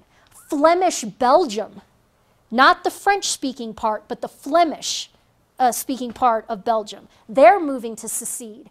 Venice is moving to secede from Italy. Venice has historically been its own republic, and in fact, they even speak a slightly different language. They don't speak pure Italian in Venice, they even have their own language. They are looking to secede from Italy, to get away from this poison. Scotland is looking to secede from the UK. Can you blame any of these groups? No, you can't. They're looking for self preservation. They're looking to get away from these poisoned central banks and central governments. And the, the corollary to that is yes, indeed, the United States may balkanize. You bet it could. Could I, could I see a Texas leaving if it got bad enough? Yes, I sure could. And if Texas leaves, you know Oklahoma's going to go with them. You know a bunch of other people are going to go with Texas. Wyoming, I could see a Wyoming seceding. Now, is this a good thing? No, it isn't, because one of the most important tactical advantages we have in the United States is the landmass with these two enormous oceans on either side. And if the United States does balkanize, all you need to do is look at an electoral map to figure out what's going to happen. The communists, these, these neo Stalinist idiots, are concentrated on the seaboards okay? The halfway, halfway intelligent people, constitutionalists, let's call them, are concentrated more or less in the center of the landmass. If the United States balkanizes, the neo Stalinists are going to have the seaports. And when their economies fail, either we're going to have to bail them out or they're going to be begging the Chinese to come in from the West and the Pacific seaports, and they're going to be begging the Russians to come in and the UN to come in on the eastern ports. And then what? And then what? We're flanked. We're flanked in the middle of the United States and it's over. So, do I see balkanization happening in the United States? Yes, I do. And it terrifies me. It absolutely terrifies me. You know, I, have learned to see the Civil War in in a more illuminated way over the last several years, but I will give Lincoln this. I will give Lincoln this. I presume that what Lincoln was probably thinking was that if the Confederacy was allowed to break away and survive, that it would just become a proxy puppet state for Europe and he said i don't we're not we can't have this. We can't have the french or the english or any of these other european concerns basically running the southern half of this continent through the confederacy. And i think that was probably one of the the main reasons in his mind why he was thinking that the union had to be maintained. Because of the, the literal tactical look at the map, this is not going to be good. This is going to be a disaster if we allow this thing to break apart. And in retrospect, he was right. And we need to, to heed that lesson again. And what, what that implies is fighting another civil war. Fighting another civil war just so that the people with common sense who are kind of in favor of the Constitution so that we can keep tactical control of the seaports out of the hands of these neo Stalinist imbeciles who would be the death of us all if given half the chance. And, and, we, and we let it get to this, and we let it get to this. All right, let's talk about credit default swaps on page 14. You need to understand this. Even if you're a person who says, I don't have anything to do with any of this, this is credit default swaps, that sounds really complicated. I don't, you need to understand this because this is what is destroying the financial system.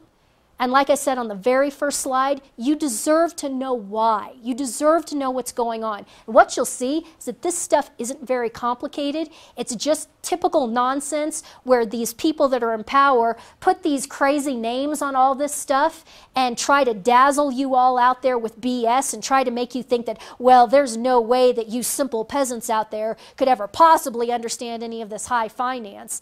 Really, it's, it's quite simple, and you need to understand it so that you can fight back against it. Okay, page 14. U.S. banks and investment entities buy Spanish bonds, let's say. We've been talking about Spain, so let's stick with Spain. What happens if Spain defaults, which is a very real possibility with all of these European countries now? What happens if Spain defaults on their bonds? Well, number one, Citibank borrows money from the Federal Reserve at 0%. So Citibank goes to the discount window, gets as much money as it wants from the Federal Reserve, and gets it at 0%. Next step, Citibank uses that money to buy Spanish bonds at 6%. So it's kind of the same dynamic as we were with before. We've got this 6, 6% spread. Citibank buys credit default swaps on Spanish debt from either JP Morgan or Goldman Sachs. Those are the two big purveyors of credit default swaps. Those are the guys who are writing these insurance policies, and you'll see that they're just glorified insurance policies. What Citibank does is it pays JP Morgan or Goldman Sachs 1% or 100 basis points. In return, JP Morgan or Goldman Sachs agrees to guarantee Citibank Spanish bonds in the event of a Spanish default. So there's the credit default aspect of credit default swap. If Spain defaults on their credit, JP Morgan and Goldman Sachs says, we will step in and we will make you whole in exchange for you paying us this premium right here. As you can see, this is just insurance, okay? Us this premium right here. As you can see, this is just insurance, okay, so far.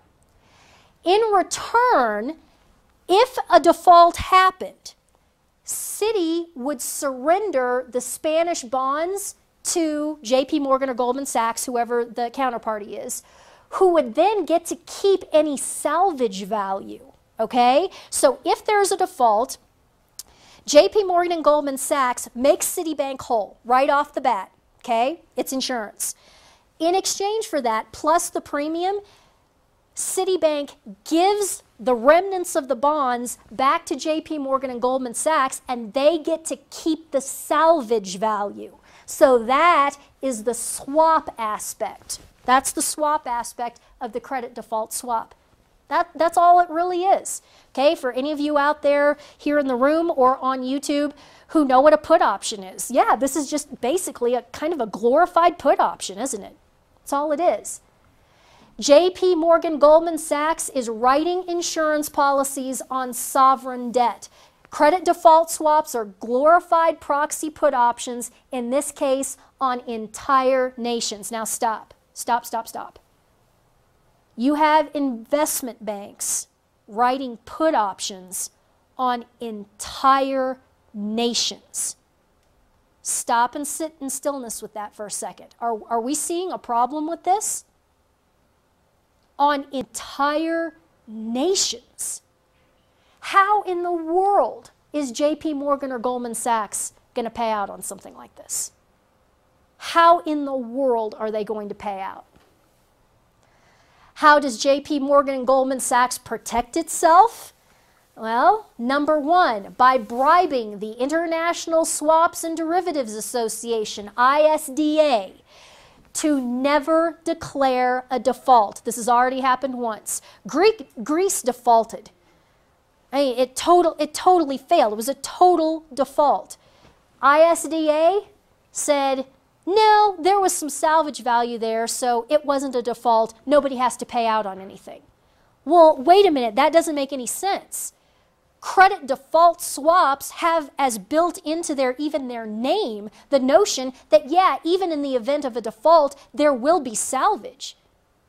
The, the salvage is built into the paradigm. So arguing well if there's still some salvage left over then it's not a default that that makes no sense. This is the ISDA just acting as the bribed proxy for JP Morgan and Goldman Sachs. Never ever declare a legal default no matter what happens so that these two firms never ever have to pay out. So all they do is they receive premiums, receive premiums, receive premiums, and they, they know that they will never have to pay out. The other way is by, is by JP Morgan and Goldman Sachs sending its employees and agents into the governments and central banks to provide bailouts. Look, look at the list of people who are running the Federal Reserve, the United States Treasury, on and on. Um, the European Central Bank, um, the IMF, the International Monetary Fund. Look at the roster of these people and then look at their immediate past employment history. These these outfits, these banks, these governments, they are populated by people coming straight out of JP Morgan, Goldman Sachs especially, and a handful of these other mega banks. Why in the world would Tim Geithner leave Goldman Sachs and, you know, multi-million dollar pay package? Why would he leave that and go to a $170,000 a year position in, in the federal government. Why would he do that?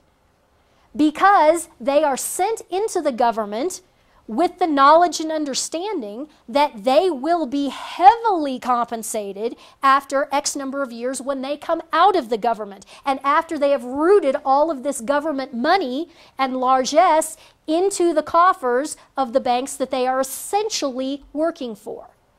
I'm not a big time conspiracy theorist. You're not going to hear me talking about Rothschilds and all that kind of crap because what I think all of that is, is deflecting personal responsibility. We're all responsible for this, don't get me wrong. However, it is an absolute metaphysical certitude that these banks are intentionally populating these government agencies and bureaucracies with their own people in order to funnel the money back to them. That cannot be argued. I mean, that doesn't even fall into the domain of conspiracy because there's not even anything secret about it. All you have to do is look at the list of people, okay?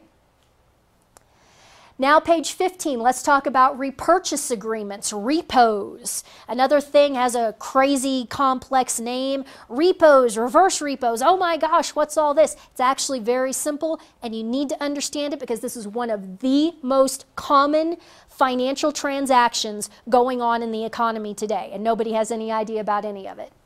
Okay, number one, MF Global. Let's put this in the simplified context of MF Global and Jon Corzine, and in very simplistic terms, try to kind of rebuild what he did so that you can understand repos. MF Global buys Italian debt at a discount from Spain. Now, okay, we've got three, three entities here. We've got the private entity MF Global, we've got Italy, and we've got Spain. Now, wait, wait a minute. Spain is broke. Why does Spain have Italian debt?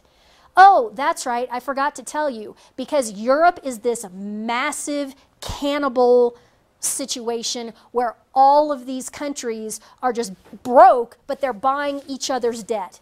And so it's all cross collateralized. It's an absolute disaster. But yes, this is exactly what's going on. MF Global buys Italian debt at a discount from Spain. Why? Because Spain needs the cash now to stop bank runs and keep welfare flowing. Okay? So Spain Spain needs cash. So we've got some Italian paper, okay, er, or MF Global. Here you go. We're going to sell it to you, and we're going to sell it to you at a discount. Yes, Europe is a massive incestuous scam of broke nations buying each other's worthless junk bonds with money printed by the European Central Bank. That's exactly correct. That's the entire situation. Spain agrees up front, right up front, to buy back, repurchase, hence repurchase agreement. It's Italian bonds at full price from MF Global at a fixed date in the future. So let's look at it from MF Global's perspective. They are buying the Italian paper from Spain at a discount. And immediately Spain says, I will commit to you via a forward contract to buy it back six months from now, a year from now, whatever the term is, to buy it back from you at full price. So MF Global has both legs of the transaction. They've got the actual buy now in real time at a discount, so buy low, right? They also have the forward sell contract at full price, so sell high. Buy low, sell high. They've got both of the legs locked in. Okay? So, what Spain is doing is called a repo, a repurchase agreement, because Spain is the one who's repurchasing. Reverse repo is not crazy difficult. All a reverse repo is, is it's, it's the other side. MF Global, what they're doing is a reverse repo. So don't think that reverse repo is some completely different, extra complicated situation. No, it's just the other side of the coin. So Spain is doing a repo, MF Global has done a reverse repo because they're on the other side. What repurchase agreements are, and I have to credit Warren Pollock on this because this is his analogy and it's very, very good. Repos are basically like a parking garage, okay? So MF Global has rented a bunch of spaces in a parking garage, and people bring their cars to this parking garage. They park their car in one of MF Global's slots and pay MF Global to park it there. MF Global gets to use the car while it's parked in the spot and agrees that yes, a year from today you can come back and I will have the car gassed up and washed and polished and completely maintained and ready to go and you can have it right back. But while your car is parked in my slot in the parking garage, I get to use it. And you pay me. Okay? That is basically what repos are. Think I like that uh, in terms of a parking garage. It makes a lot of sense. Parking garage for money. So now MF Global is holding the Italian bonds in, its, in one of its garage stalls. MF Global has given Spain cash equal to the value of the Italian bonds minus a discount. Okay, that was the buy low minus the discount, and then there's the sell high that's already locked in on a forward contract. At the same moment, MF Global records on its books the agreed upon forward sale. So it books the forward sale immediately back to Spain. Thus, MF Global has the low buy and the higher sell on its books, and here's the punchline recognizes it immediately as profit. Okay? But, so they've got the profit booked, but they get to hold it what's called off balance sheet. Have you heard that term, off balance sheet? That's what we're talking about here. Since the buy and the sell cancel each other out, GAAP, generally accepted accounting principles, allows MF Global to carry this reverse repo off balance sheet, thus allowing for massive, massive leverage. They can just keep doing it and doing it and doing it and doing it. Recognize the profit immediately, hold the actual transaction off balance sheet so so that according to GAAP, it doesn't count again it doesn't count against your your firm equity. We're seeing a problem? This is a disaster. What happens if the rent on the garage space goes up? Okay, they've got all these cars parked in these garage spaces. They're actually renting the garage space from somebody else. So this is a subleasing situation. What happens if all of a sudden the rent goes up? Well, MF Global must post a small amount of money for each garage stall it needs. If the rent rates suddenly double due to increased risk, meaning in real in real word terms, Italian bond rates increase, it must immediately post the funds. But since they've been holding all this off balance sheet and they're levered up 20, 30, 40 times, if the rent goes up, it's going to wipe out all of their cash. And when I talk about the rent going up, what am I really talking about in real world terms? I'm talking about the interest rate on Italian bonds going up. That's what I'm talking about. MF Global would then have to post more collateral to secure that position. For those of you in the financial industry, it's margin. Okay, you can call it a margin call, you can call it a collateral call. It's basically the same thing. Since MF Global has been legally permitted and encouraged to hold its reverse repos off balance sheet and is thus carrying, oh, let's call it 35 times more reverse repos than cash, the increased rent rate, the higher Italian bond rate, will wipe out the entire company and its customer asset base. That's what happened. Corzine put all of these repos on with European junk paper. And he's, a, he's psychotic. The man is a psychopath. Okay? He, his brain does not work right. He does not have any sort of feelings of guilt or any triggers regarding honesty or safety or risk taking with other people's money. So he just levered that company up through the roof. I think 35 times is probably being conservative in terms of the leverage of what he was doing. As soon as Europe got twitchy, in the late summer and fall of 2011 and those Italian bond rates started inching up, he got a collateral call and he didn't have the cash to pay for it. And so what he did was he swept all of the customer money out of their accounts, out of their brokerage accounts, took that money and used it to pay his collateral call on his Italian reverse repo position and he walks the streets a free man. And the latest word from the Wall Street Journal is that he's frustrated. That he's frustrated that he's not able to get back into the financial markets. And this is just, this is slowing down his career. He's frustrated.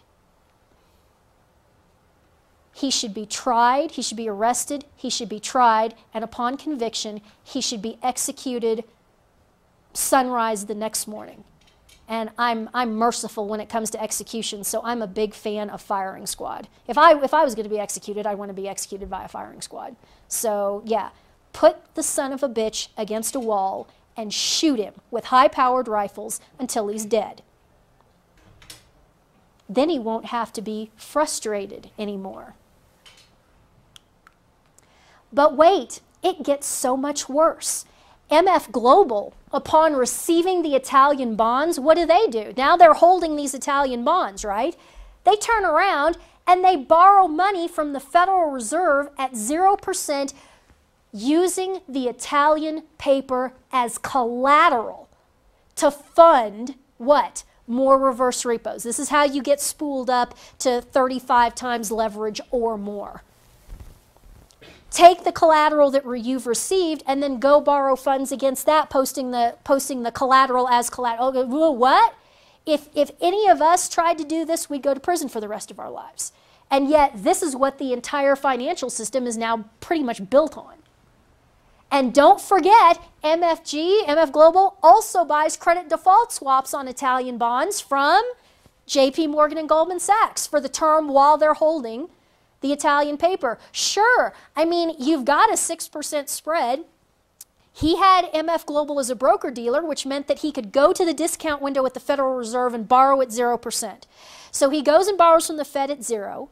Let's say the Italian rate is, uh, the Italian repo rate is, I don't know, 4%. He pays 100 basis points in CDS. I'm just making these numbers up. He still is making you know, three, four percent, when he can borrow money at the discount at the discount window at zero. You see this? It's it's just it's sick. It's sick that this is happening. Why are they doing this? These are all fairly new developments, these repos and these CDS and so forth. These are fairly new developments. Exotic, risky schemes like these are a recent innovation encouraged by the government. How? Zero interest rate policy. I started my little teeny tiny commodity brokerage in 2006. At that time, the paradigm for all companies, all of these brokerage houses was, was that the customer funds were invested in nothing any more risky than 90 day T bills. 90 day T bills. That was as risky as you could get. And when I started, the 90 day T bill rate was roughly around 5%.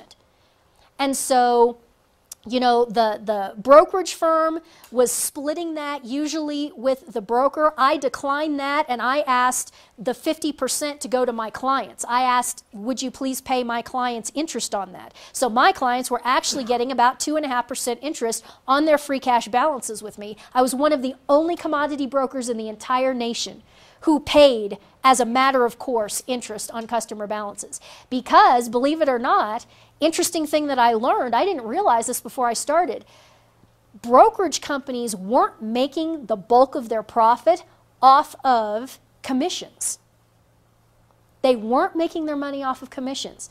They were making a lot of their money off of interest income off of the customer segregated funds which they were only investing in U.S. Treasury paper, which was at the time as close to perfectly safe and zero risk as you could get. So that was fine. That paradigm worked. As soon as you have the government put in place ZIRP, zero interest rate policies, all these brokerage houses now and all of these other entities that we'll get into have lost their main source of income. It's gone. And so why did they start doing all these repos and all this stuff? Because they, they were desperately looking for a way to replace the lost interest income from ZIRP. Okay? So the government has made this bed. Let's, on page 17, we're going to go through 90 day, a short history of 90 day T bill rates in the United States. Fill in this little uh, matrix on page 17. First box on the left, January 2007. On the right, right in the box, that 90-day uh, T-bill rates were 5.11%. January of 07, 90-day T-bill rates were 5.11%. July of 07, they were 4.96%. January of 08, 2.82%. July of 2008, 1.66%. January of 2009, here's Obama, 0.13%. January of 2010, 0.06%. It's basically zero. January of 2011, 0.15%. Oops. And January of 2012, 0.03%. January of 2012, 0.03%. Wow. It was done completely intentionally, and it will destroy us. This cannot go on. Now, who is doing this? Who is doing these credit default swaps? And more importantly, who's doing all of these repos and reverse repos? The answer is terrifying. It's basically everyone. Banks are doing this, obviously. Brokerage firms, obviously, as we just went through. Insurance companies. Pension funds, private and union Remember, interest rates are at zero, people. These pension funds are doing these repos and reverse repos in order to generate interest income. Money market funds, large corporations, and state and local governments. Repos and reverse repos are today one of the most common financial transactions executed in the world. And they didn't even exist a few years ago. But everybody is doing them now. Why? Because of ZIRP. They have to replace the lost interest income. How much are they doing this? On page 18 now.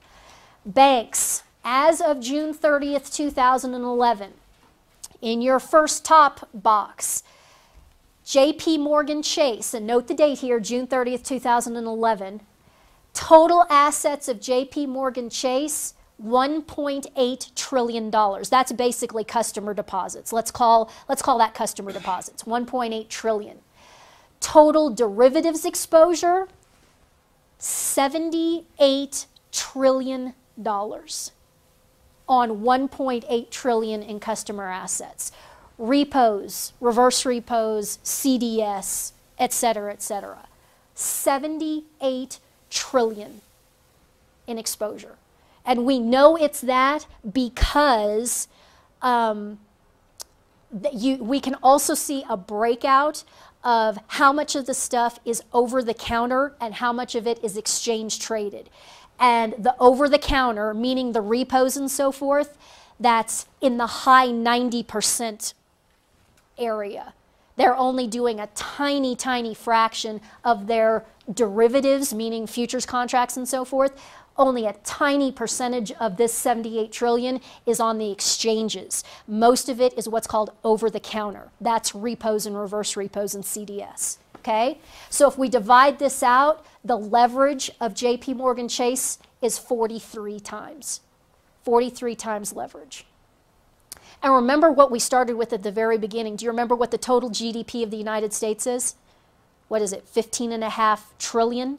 and we converted that into man hours and it was 775 billion man hours and which was 387 million man years that's 15 trillion just JP Morgan just one bank has derivatives exposure of 78 trillion dollars if you want to be an overachiever there at home watching this on YouTube, convert $78 trillion the same way we did at the beginning into man hours and man years. It's one bank. Next, Citibank. Total assets 1.2 trillion. Total derivatives exposure 56 trillion. If you divide that out, they're running at 47 times leverage. That's Citi. Next up, Bank of America. Total assets, one and a half trillion. Total derivatives exposure, 53 trillion. Leverage, 35 times. Oh, Goldman Sachs. This one, this one will make you sob. Total assets of Goldman Sachs, 89 billion. That's customer deposits, okay? They're not, they're not a big customer bank in the same sense as Bank of America and, and uh, JP Morgan and Citi. But they are one of the biggest in terms of derivatives. $48 trillion in derivatives exposure on 89 billion in assets. That's 545 times leverage. And you say, no. How, how, is that, how is that possible? How can that be? How can Goldman Sachs be running at 545 times leverage relative to its assets? And the answer is because Goldman Sachs and the United States government are, for all intents and purposes, the same fiscal entity. And if anybody has any explanation other than that, I would love to hear it. And again, I would just encourage you to look at the people who are populating the United States government, the bureaucracy, the Federal Reserve banks, and look at their CVs. Where did these people come from? They came from Goldman. Okay? Again, I'm, I'm, I do not like the whole conspiracy theory uh, worldview, but some, sometimes it's real. and when it is real, you have to be brave enough to face it. That's it. And finally, let's look at the top 25 U.S. banks. Top 25 banks in the U.S. together, 8.3 trillion in customer assets. Total derivatives exposure of the top 25 banks, 249 trillion dollars. 30 times leverage. The GDP of the United States is only 15.5 trillion. The, the GDP of the entire planet is between 65 and 70 trillion.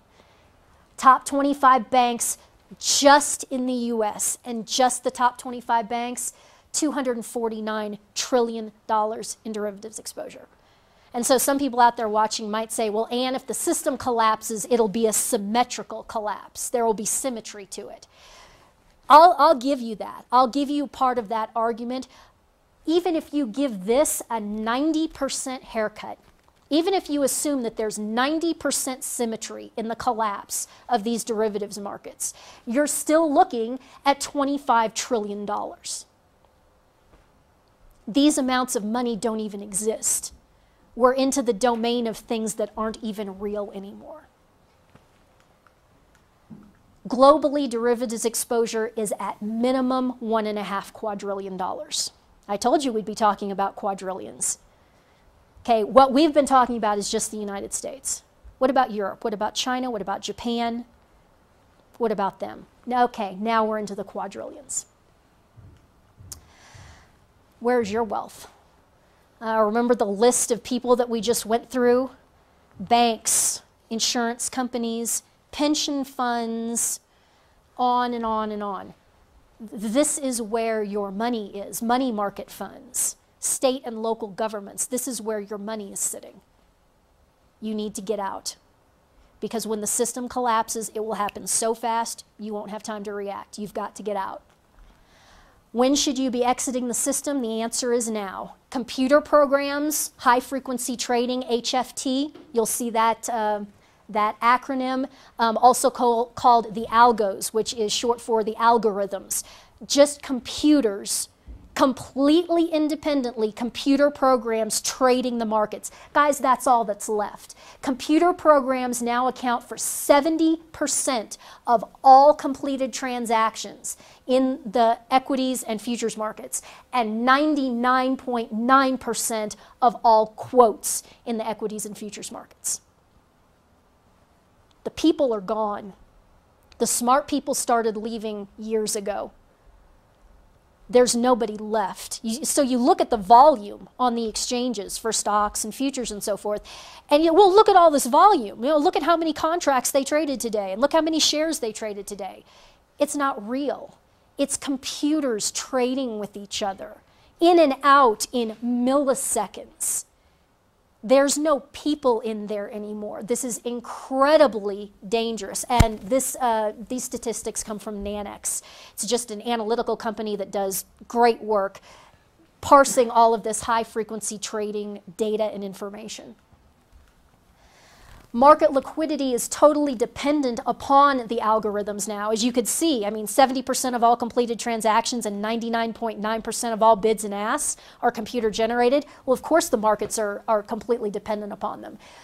These algos are programmed to stop trading in the event of a black swan market shock if anything crazy happens, the computers are, are, programmed to step back. What does that mean? That means if anything crazy happens and the algos stop generating bids and offers, since there are no people left in there, uh, it's, the markets are going to go no bid like that. And then good luck getting out of your positions.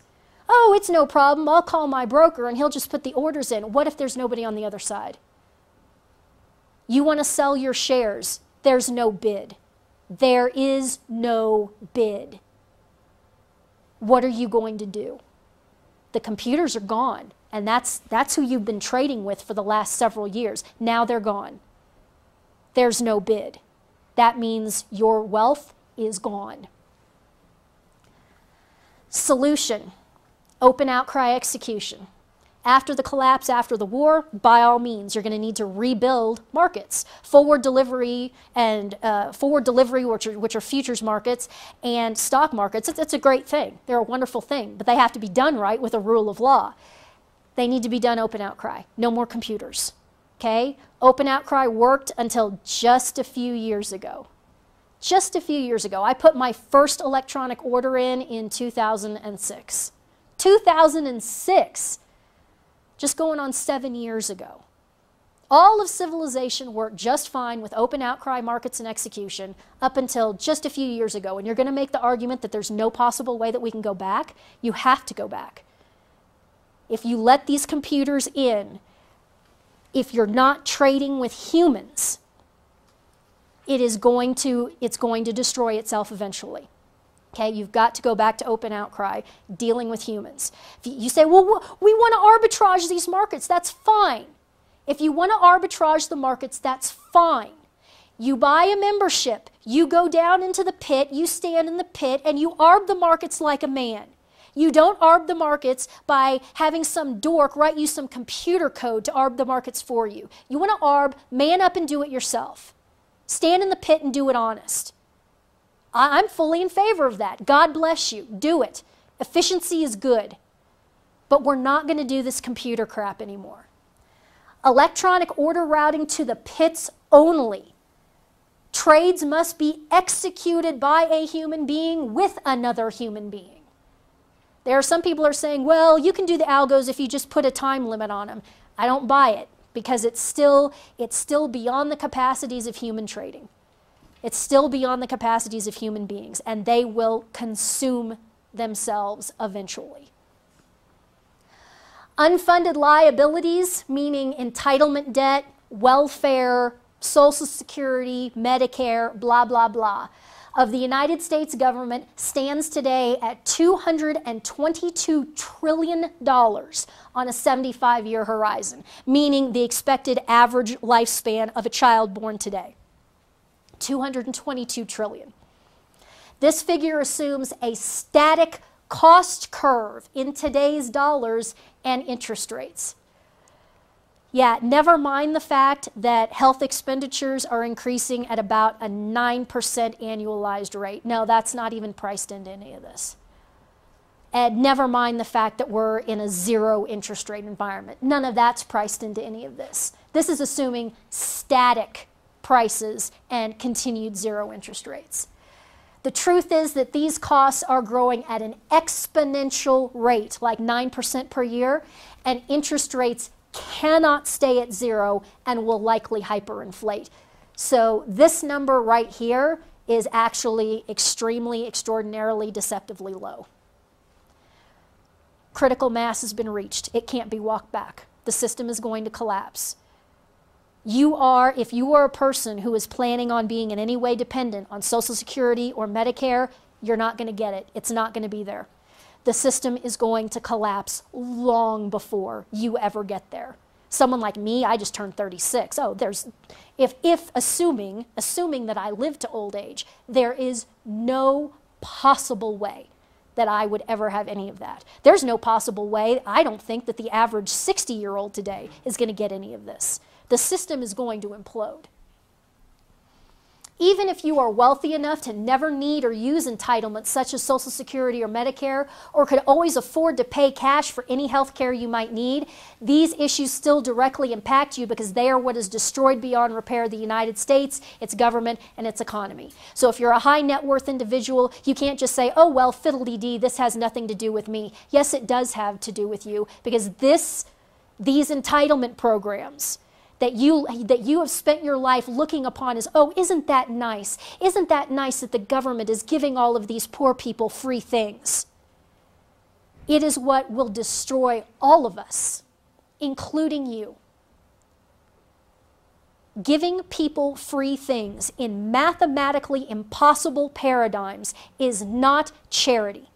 Anything that is contrary to reason and truth is a lie that is coming from the pit of hell which is why when I see archbishop after archbishop and cardinal after cardinal in the church running their mouths about the need for universal health care, my anger is off the charts. You imbeciles, you idiots, how dare you? you everybody deserve, everybody's entitled to the right of universal health care, huh? Really? Where does health care come from? It comes from doctors and it comes from nurses. Are you honestly so stupid? Are you honestly so poorly educated, Your Excellency, that you actually believe that one human being has the right to the labors of another human being? Boy, I, I don't know. That sure sounds like slavery to me. Doesn't it sound like slavery to you?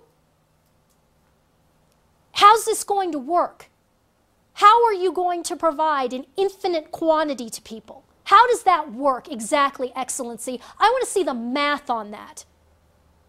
I want to see the logic and the reason behind that. Our Lord Himself is logic and reason. Our Lord Himself is truth. Our Lord Himself is even mathematical truth. And while you, Archbishop and cardinals of the church, are spewing these lies that are contrary to the truth, that are contrary to mathematical truth and to logic and to reason, you are agents of Satan because Satan is the father of all lies. Archbishop, cardinals of the church, you gentlemen need to pull your heads out of your ass before you destroy all of Western civilization. Now, do it now. Stop trying to rebel against your father. Stop trying to rebel against your Marxist, homosexual seminary, seminary professors from the early 1970s. Stop it. You're killing everybody. You are in league with Satan. Stop it. For the love of God, literally. Solution catastrophic, high deductible health insurance only Low deductible, non catastrophic health insurance is what has destroyed the entire healthcare market. Why? Because non catastrophic insurance eventually destroys any market it touches because price point feedback ceases to exist. If you have insurance, you don't ask what anything costs. You just, oh, well, the insurance will pay for it. That's why healthcare costs are inflating at a 9% annualized rate because there is no price point feedback because of insurance, because of government largesse in the form of these entitlement programs. No, this has to stop. Giving people free crap only destroys civilizations in the long run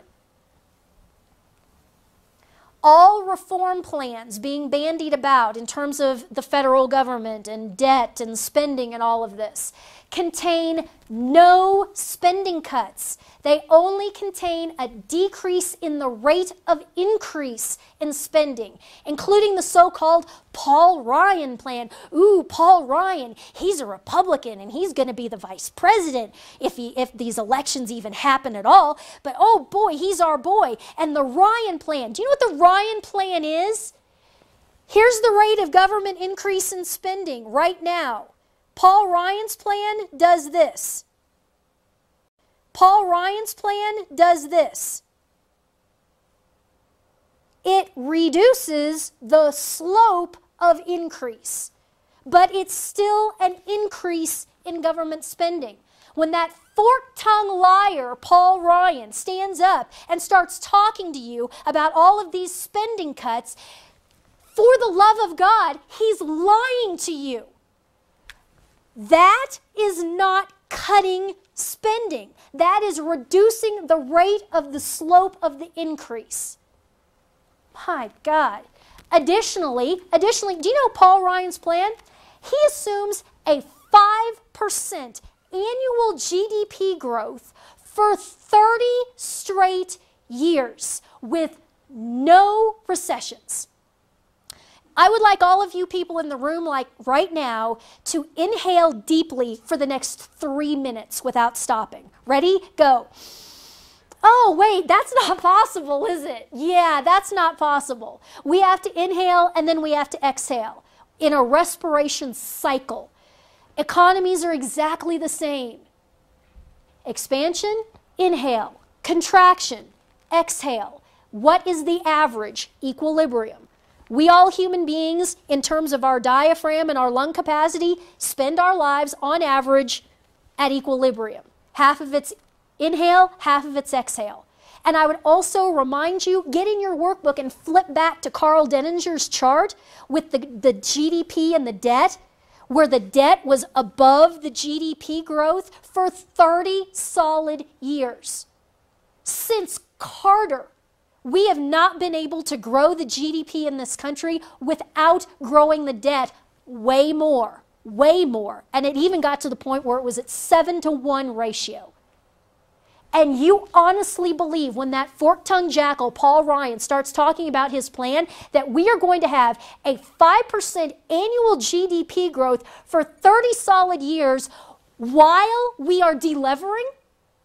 With, meaning the, the debt line would be underneath zero. We would be delevering with 30 solid years of 5% annual GDP growth.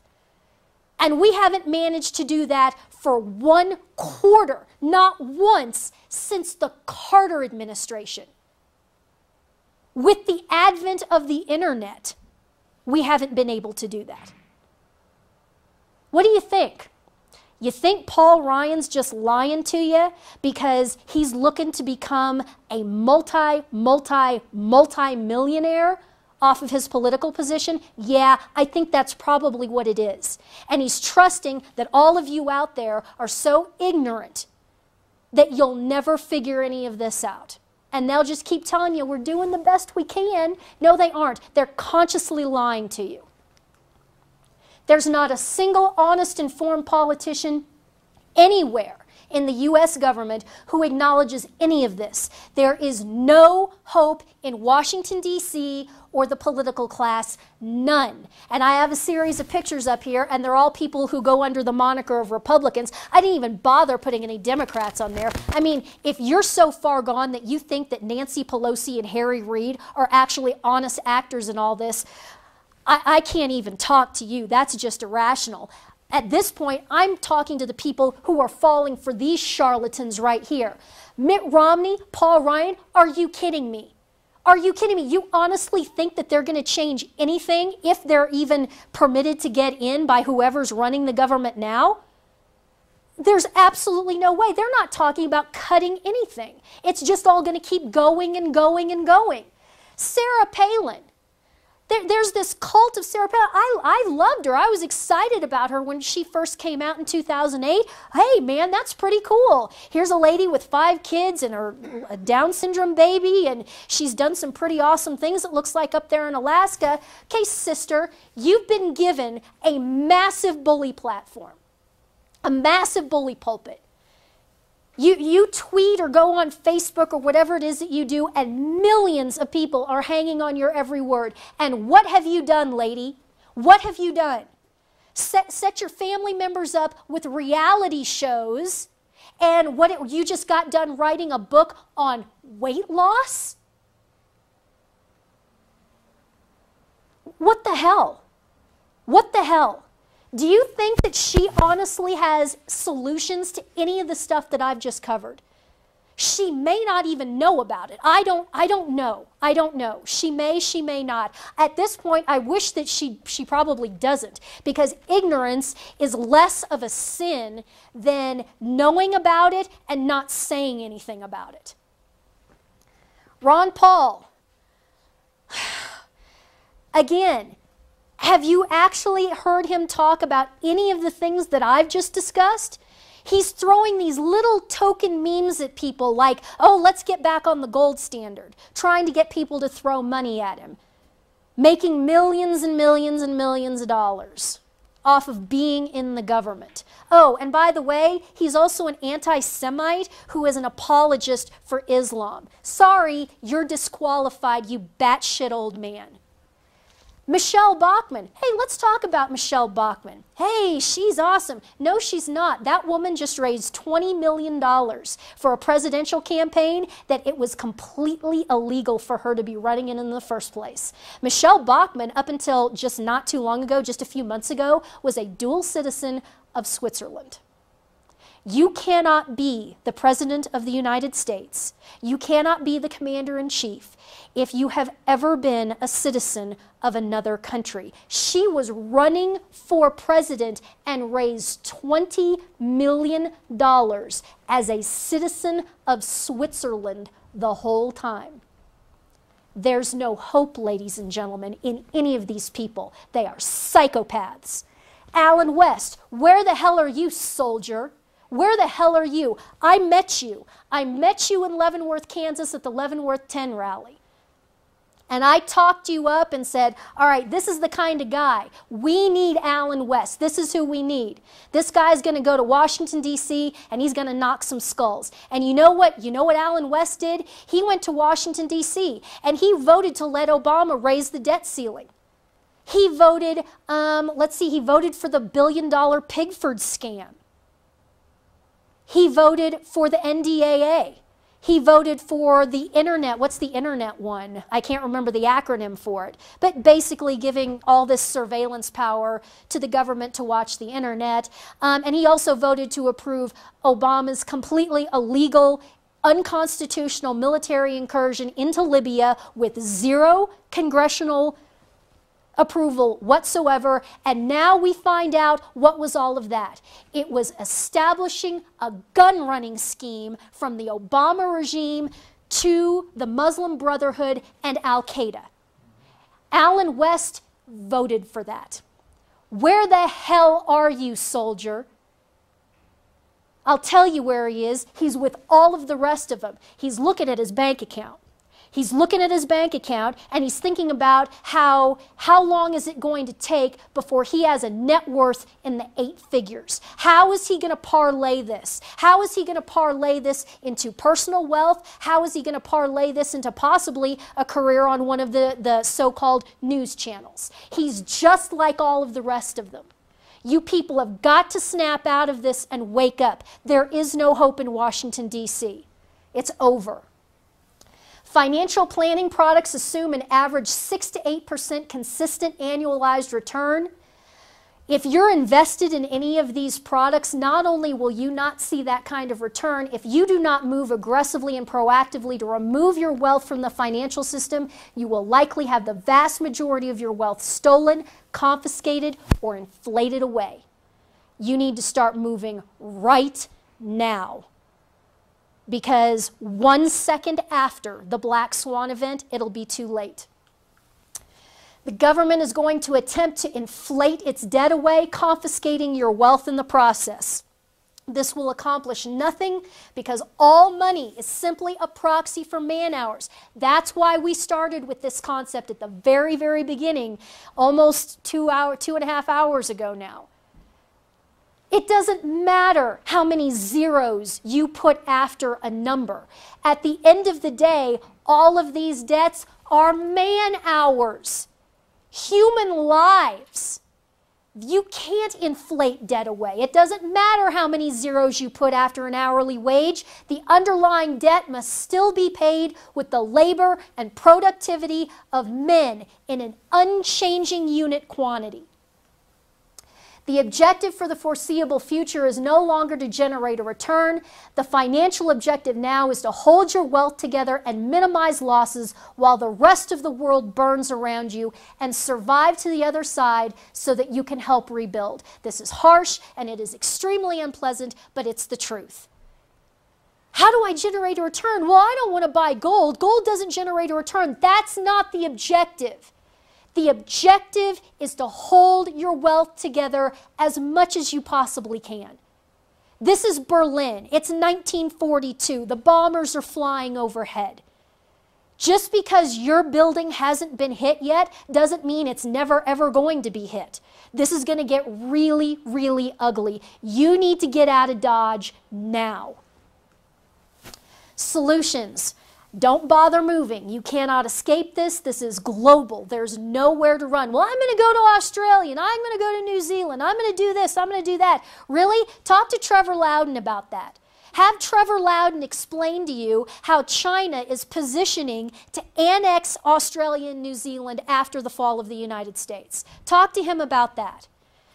I mean, you know, decades ago, they'd love to have you, but today, there's nowhere to run. This is the United States for all of its flaws, for all of its many flaws, this is the last bulwark of defense against the forces of evil running rampant all over this country. This is it. If the United States falls, in all of humanity is going to go into a dark age. There's nowhere to run. This isn't like World War II where the, the people in Germany could come to the United States or come to Canada. Uh, there's nothing like that here. You have to stand and fight. And what part of that, a big part of that, and those tactics is getting pre-positioned. You know that the battle is coming. You know that the war is upon us. Get yourself positioned. Allocate as much wealth as possible into physical commodities. This includes land, precious metals, livestock, firearms, ammunition, more firearms, more ammunition, more firearms, more ammunition, food, water, and fuel. Do it now. Because one second after, it'll be too late. You have to do it now. And so we'll, we'll end with the question, Quo Vadis? Where are you going? St. Peter, 35 or so years after the resurrection and ascension, was in Rome. And, you know, he'd been arrested many times and imprisoned many times and always managed to escape. And he escaped. He got out of Rome and he was on the Appian Way, hightailing it south and east out of Rome. He'd gotten away. And as he's walking down the Appian Way, who does he meet walking back up the other way? He meets our Lord. And what does Peter say to our Lord, who he has not seen corporeally in probably 35 years? He's seen him every day in the Eucharist, but he, he hasn't seen him corporeal, corporeally in, in 35 years. And Peter says, Quo vadis, Domine? Where are you going, Lord? And our Lord looked back at Peter and he said, I'm going to Rome to be crucified again. And Peter nodded his head, and Peter turned around and he walked back into Rome. And he was arrested and he was crucified. It was his time. It was time. And he knew it was time because our Lord told him it was time. That's, that's what I'm doing. Quo vadis, Ann, where are you going? The answer is I'm going to Rome to be crucified. It's time. Some people have to. Not all of you have to do that, but some of us are called. Some of us have to stand and fight against this. And how can it not work out well? Because who's going with us?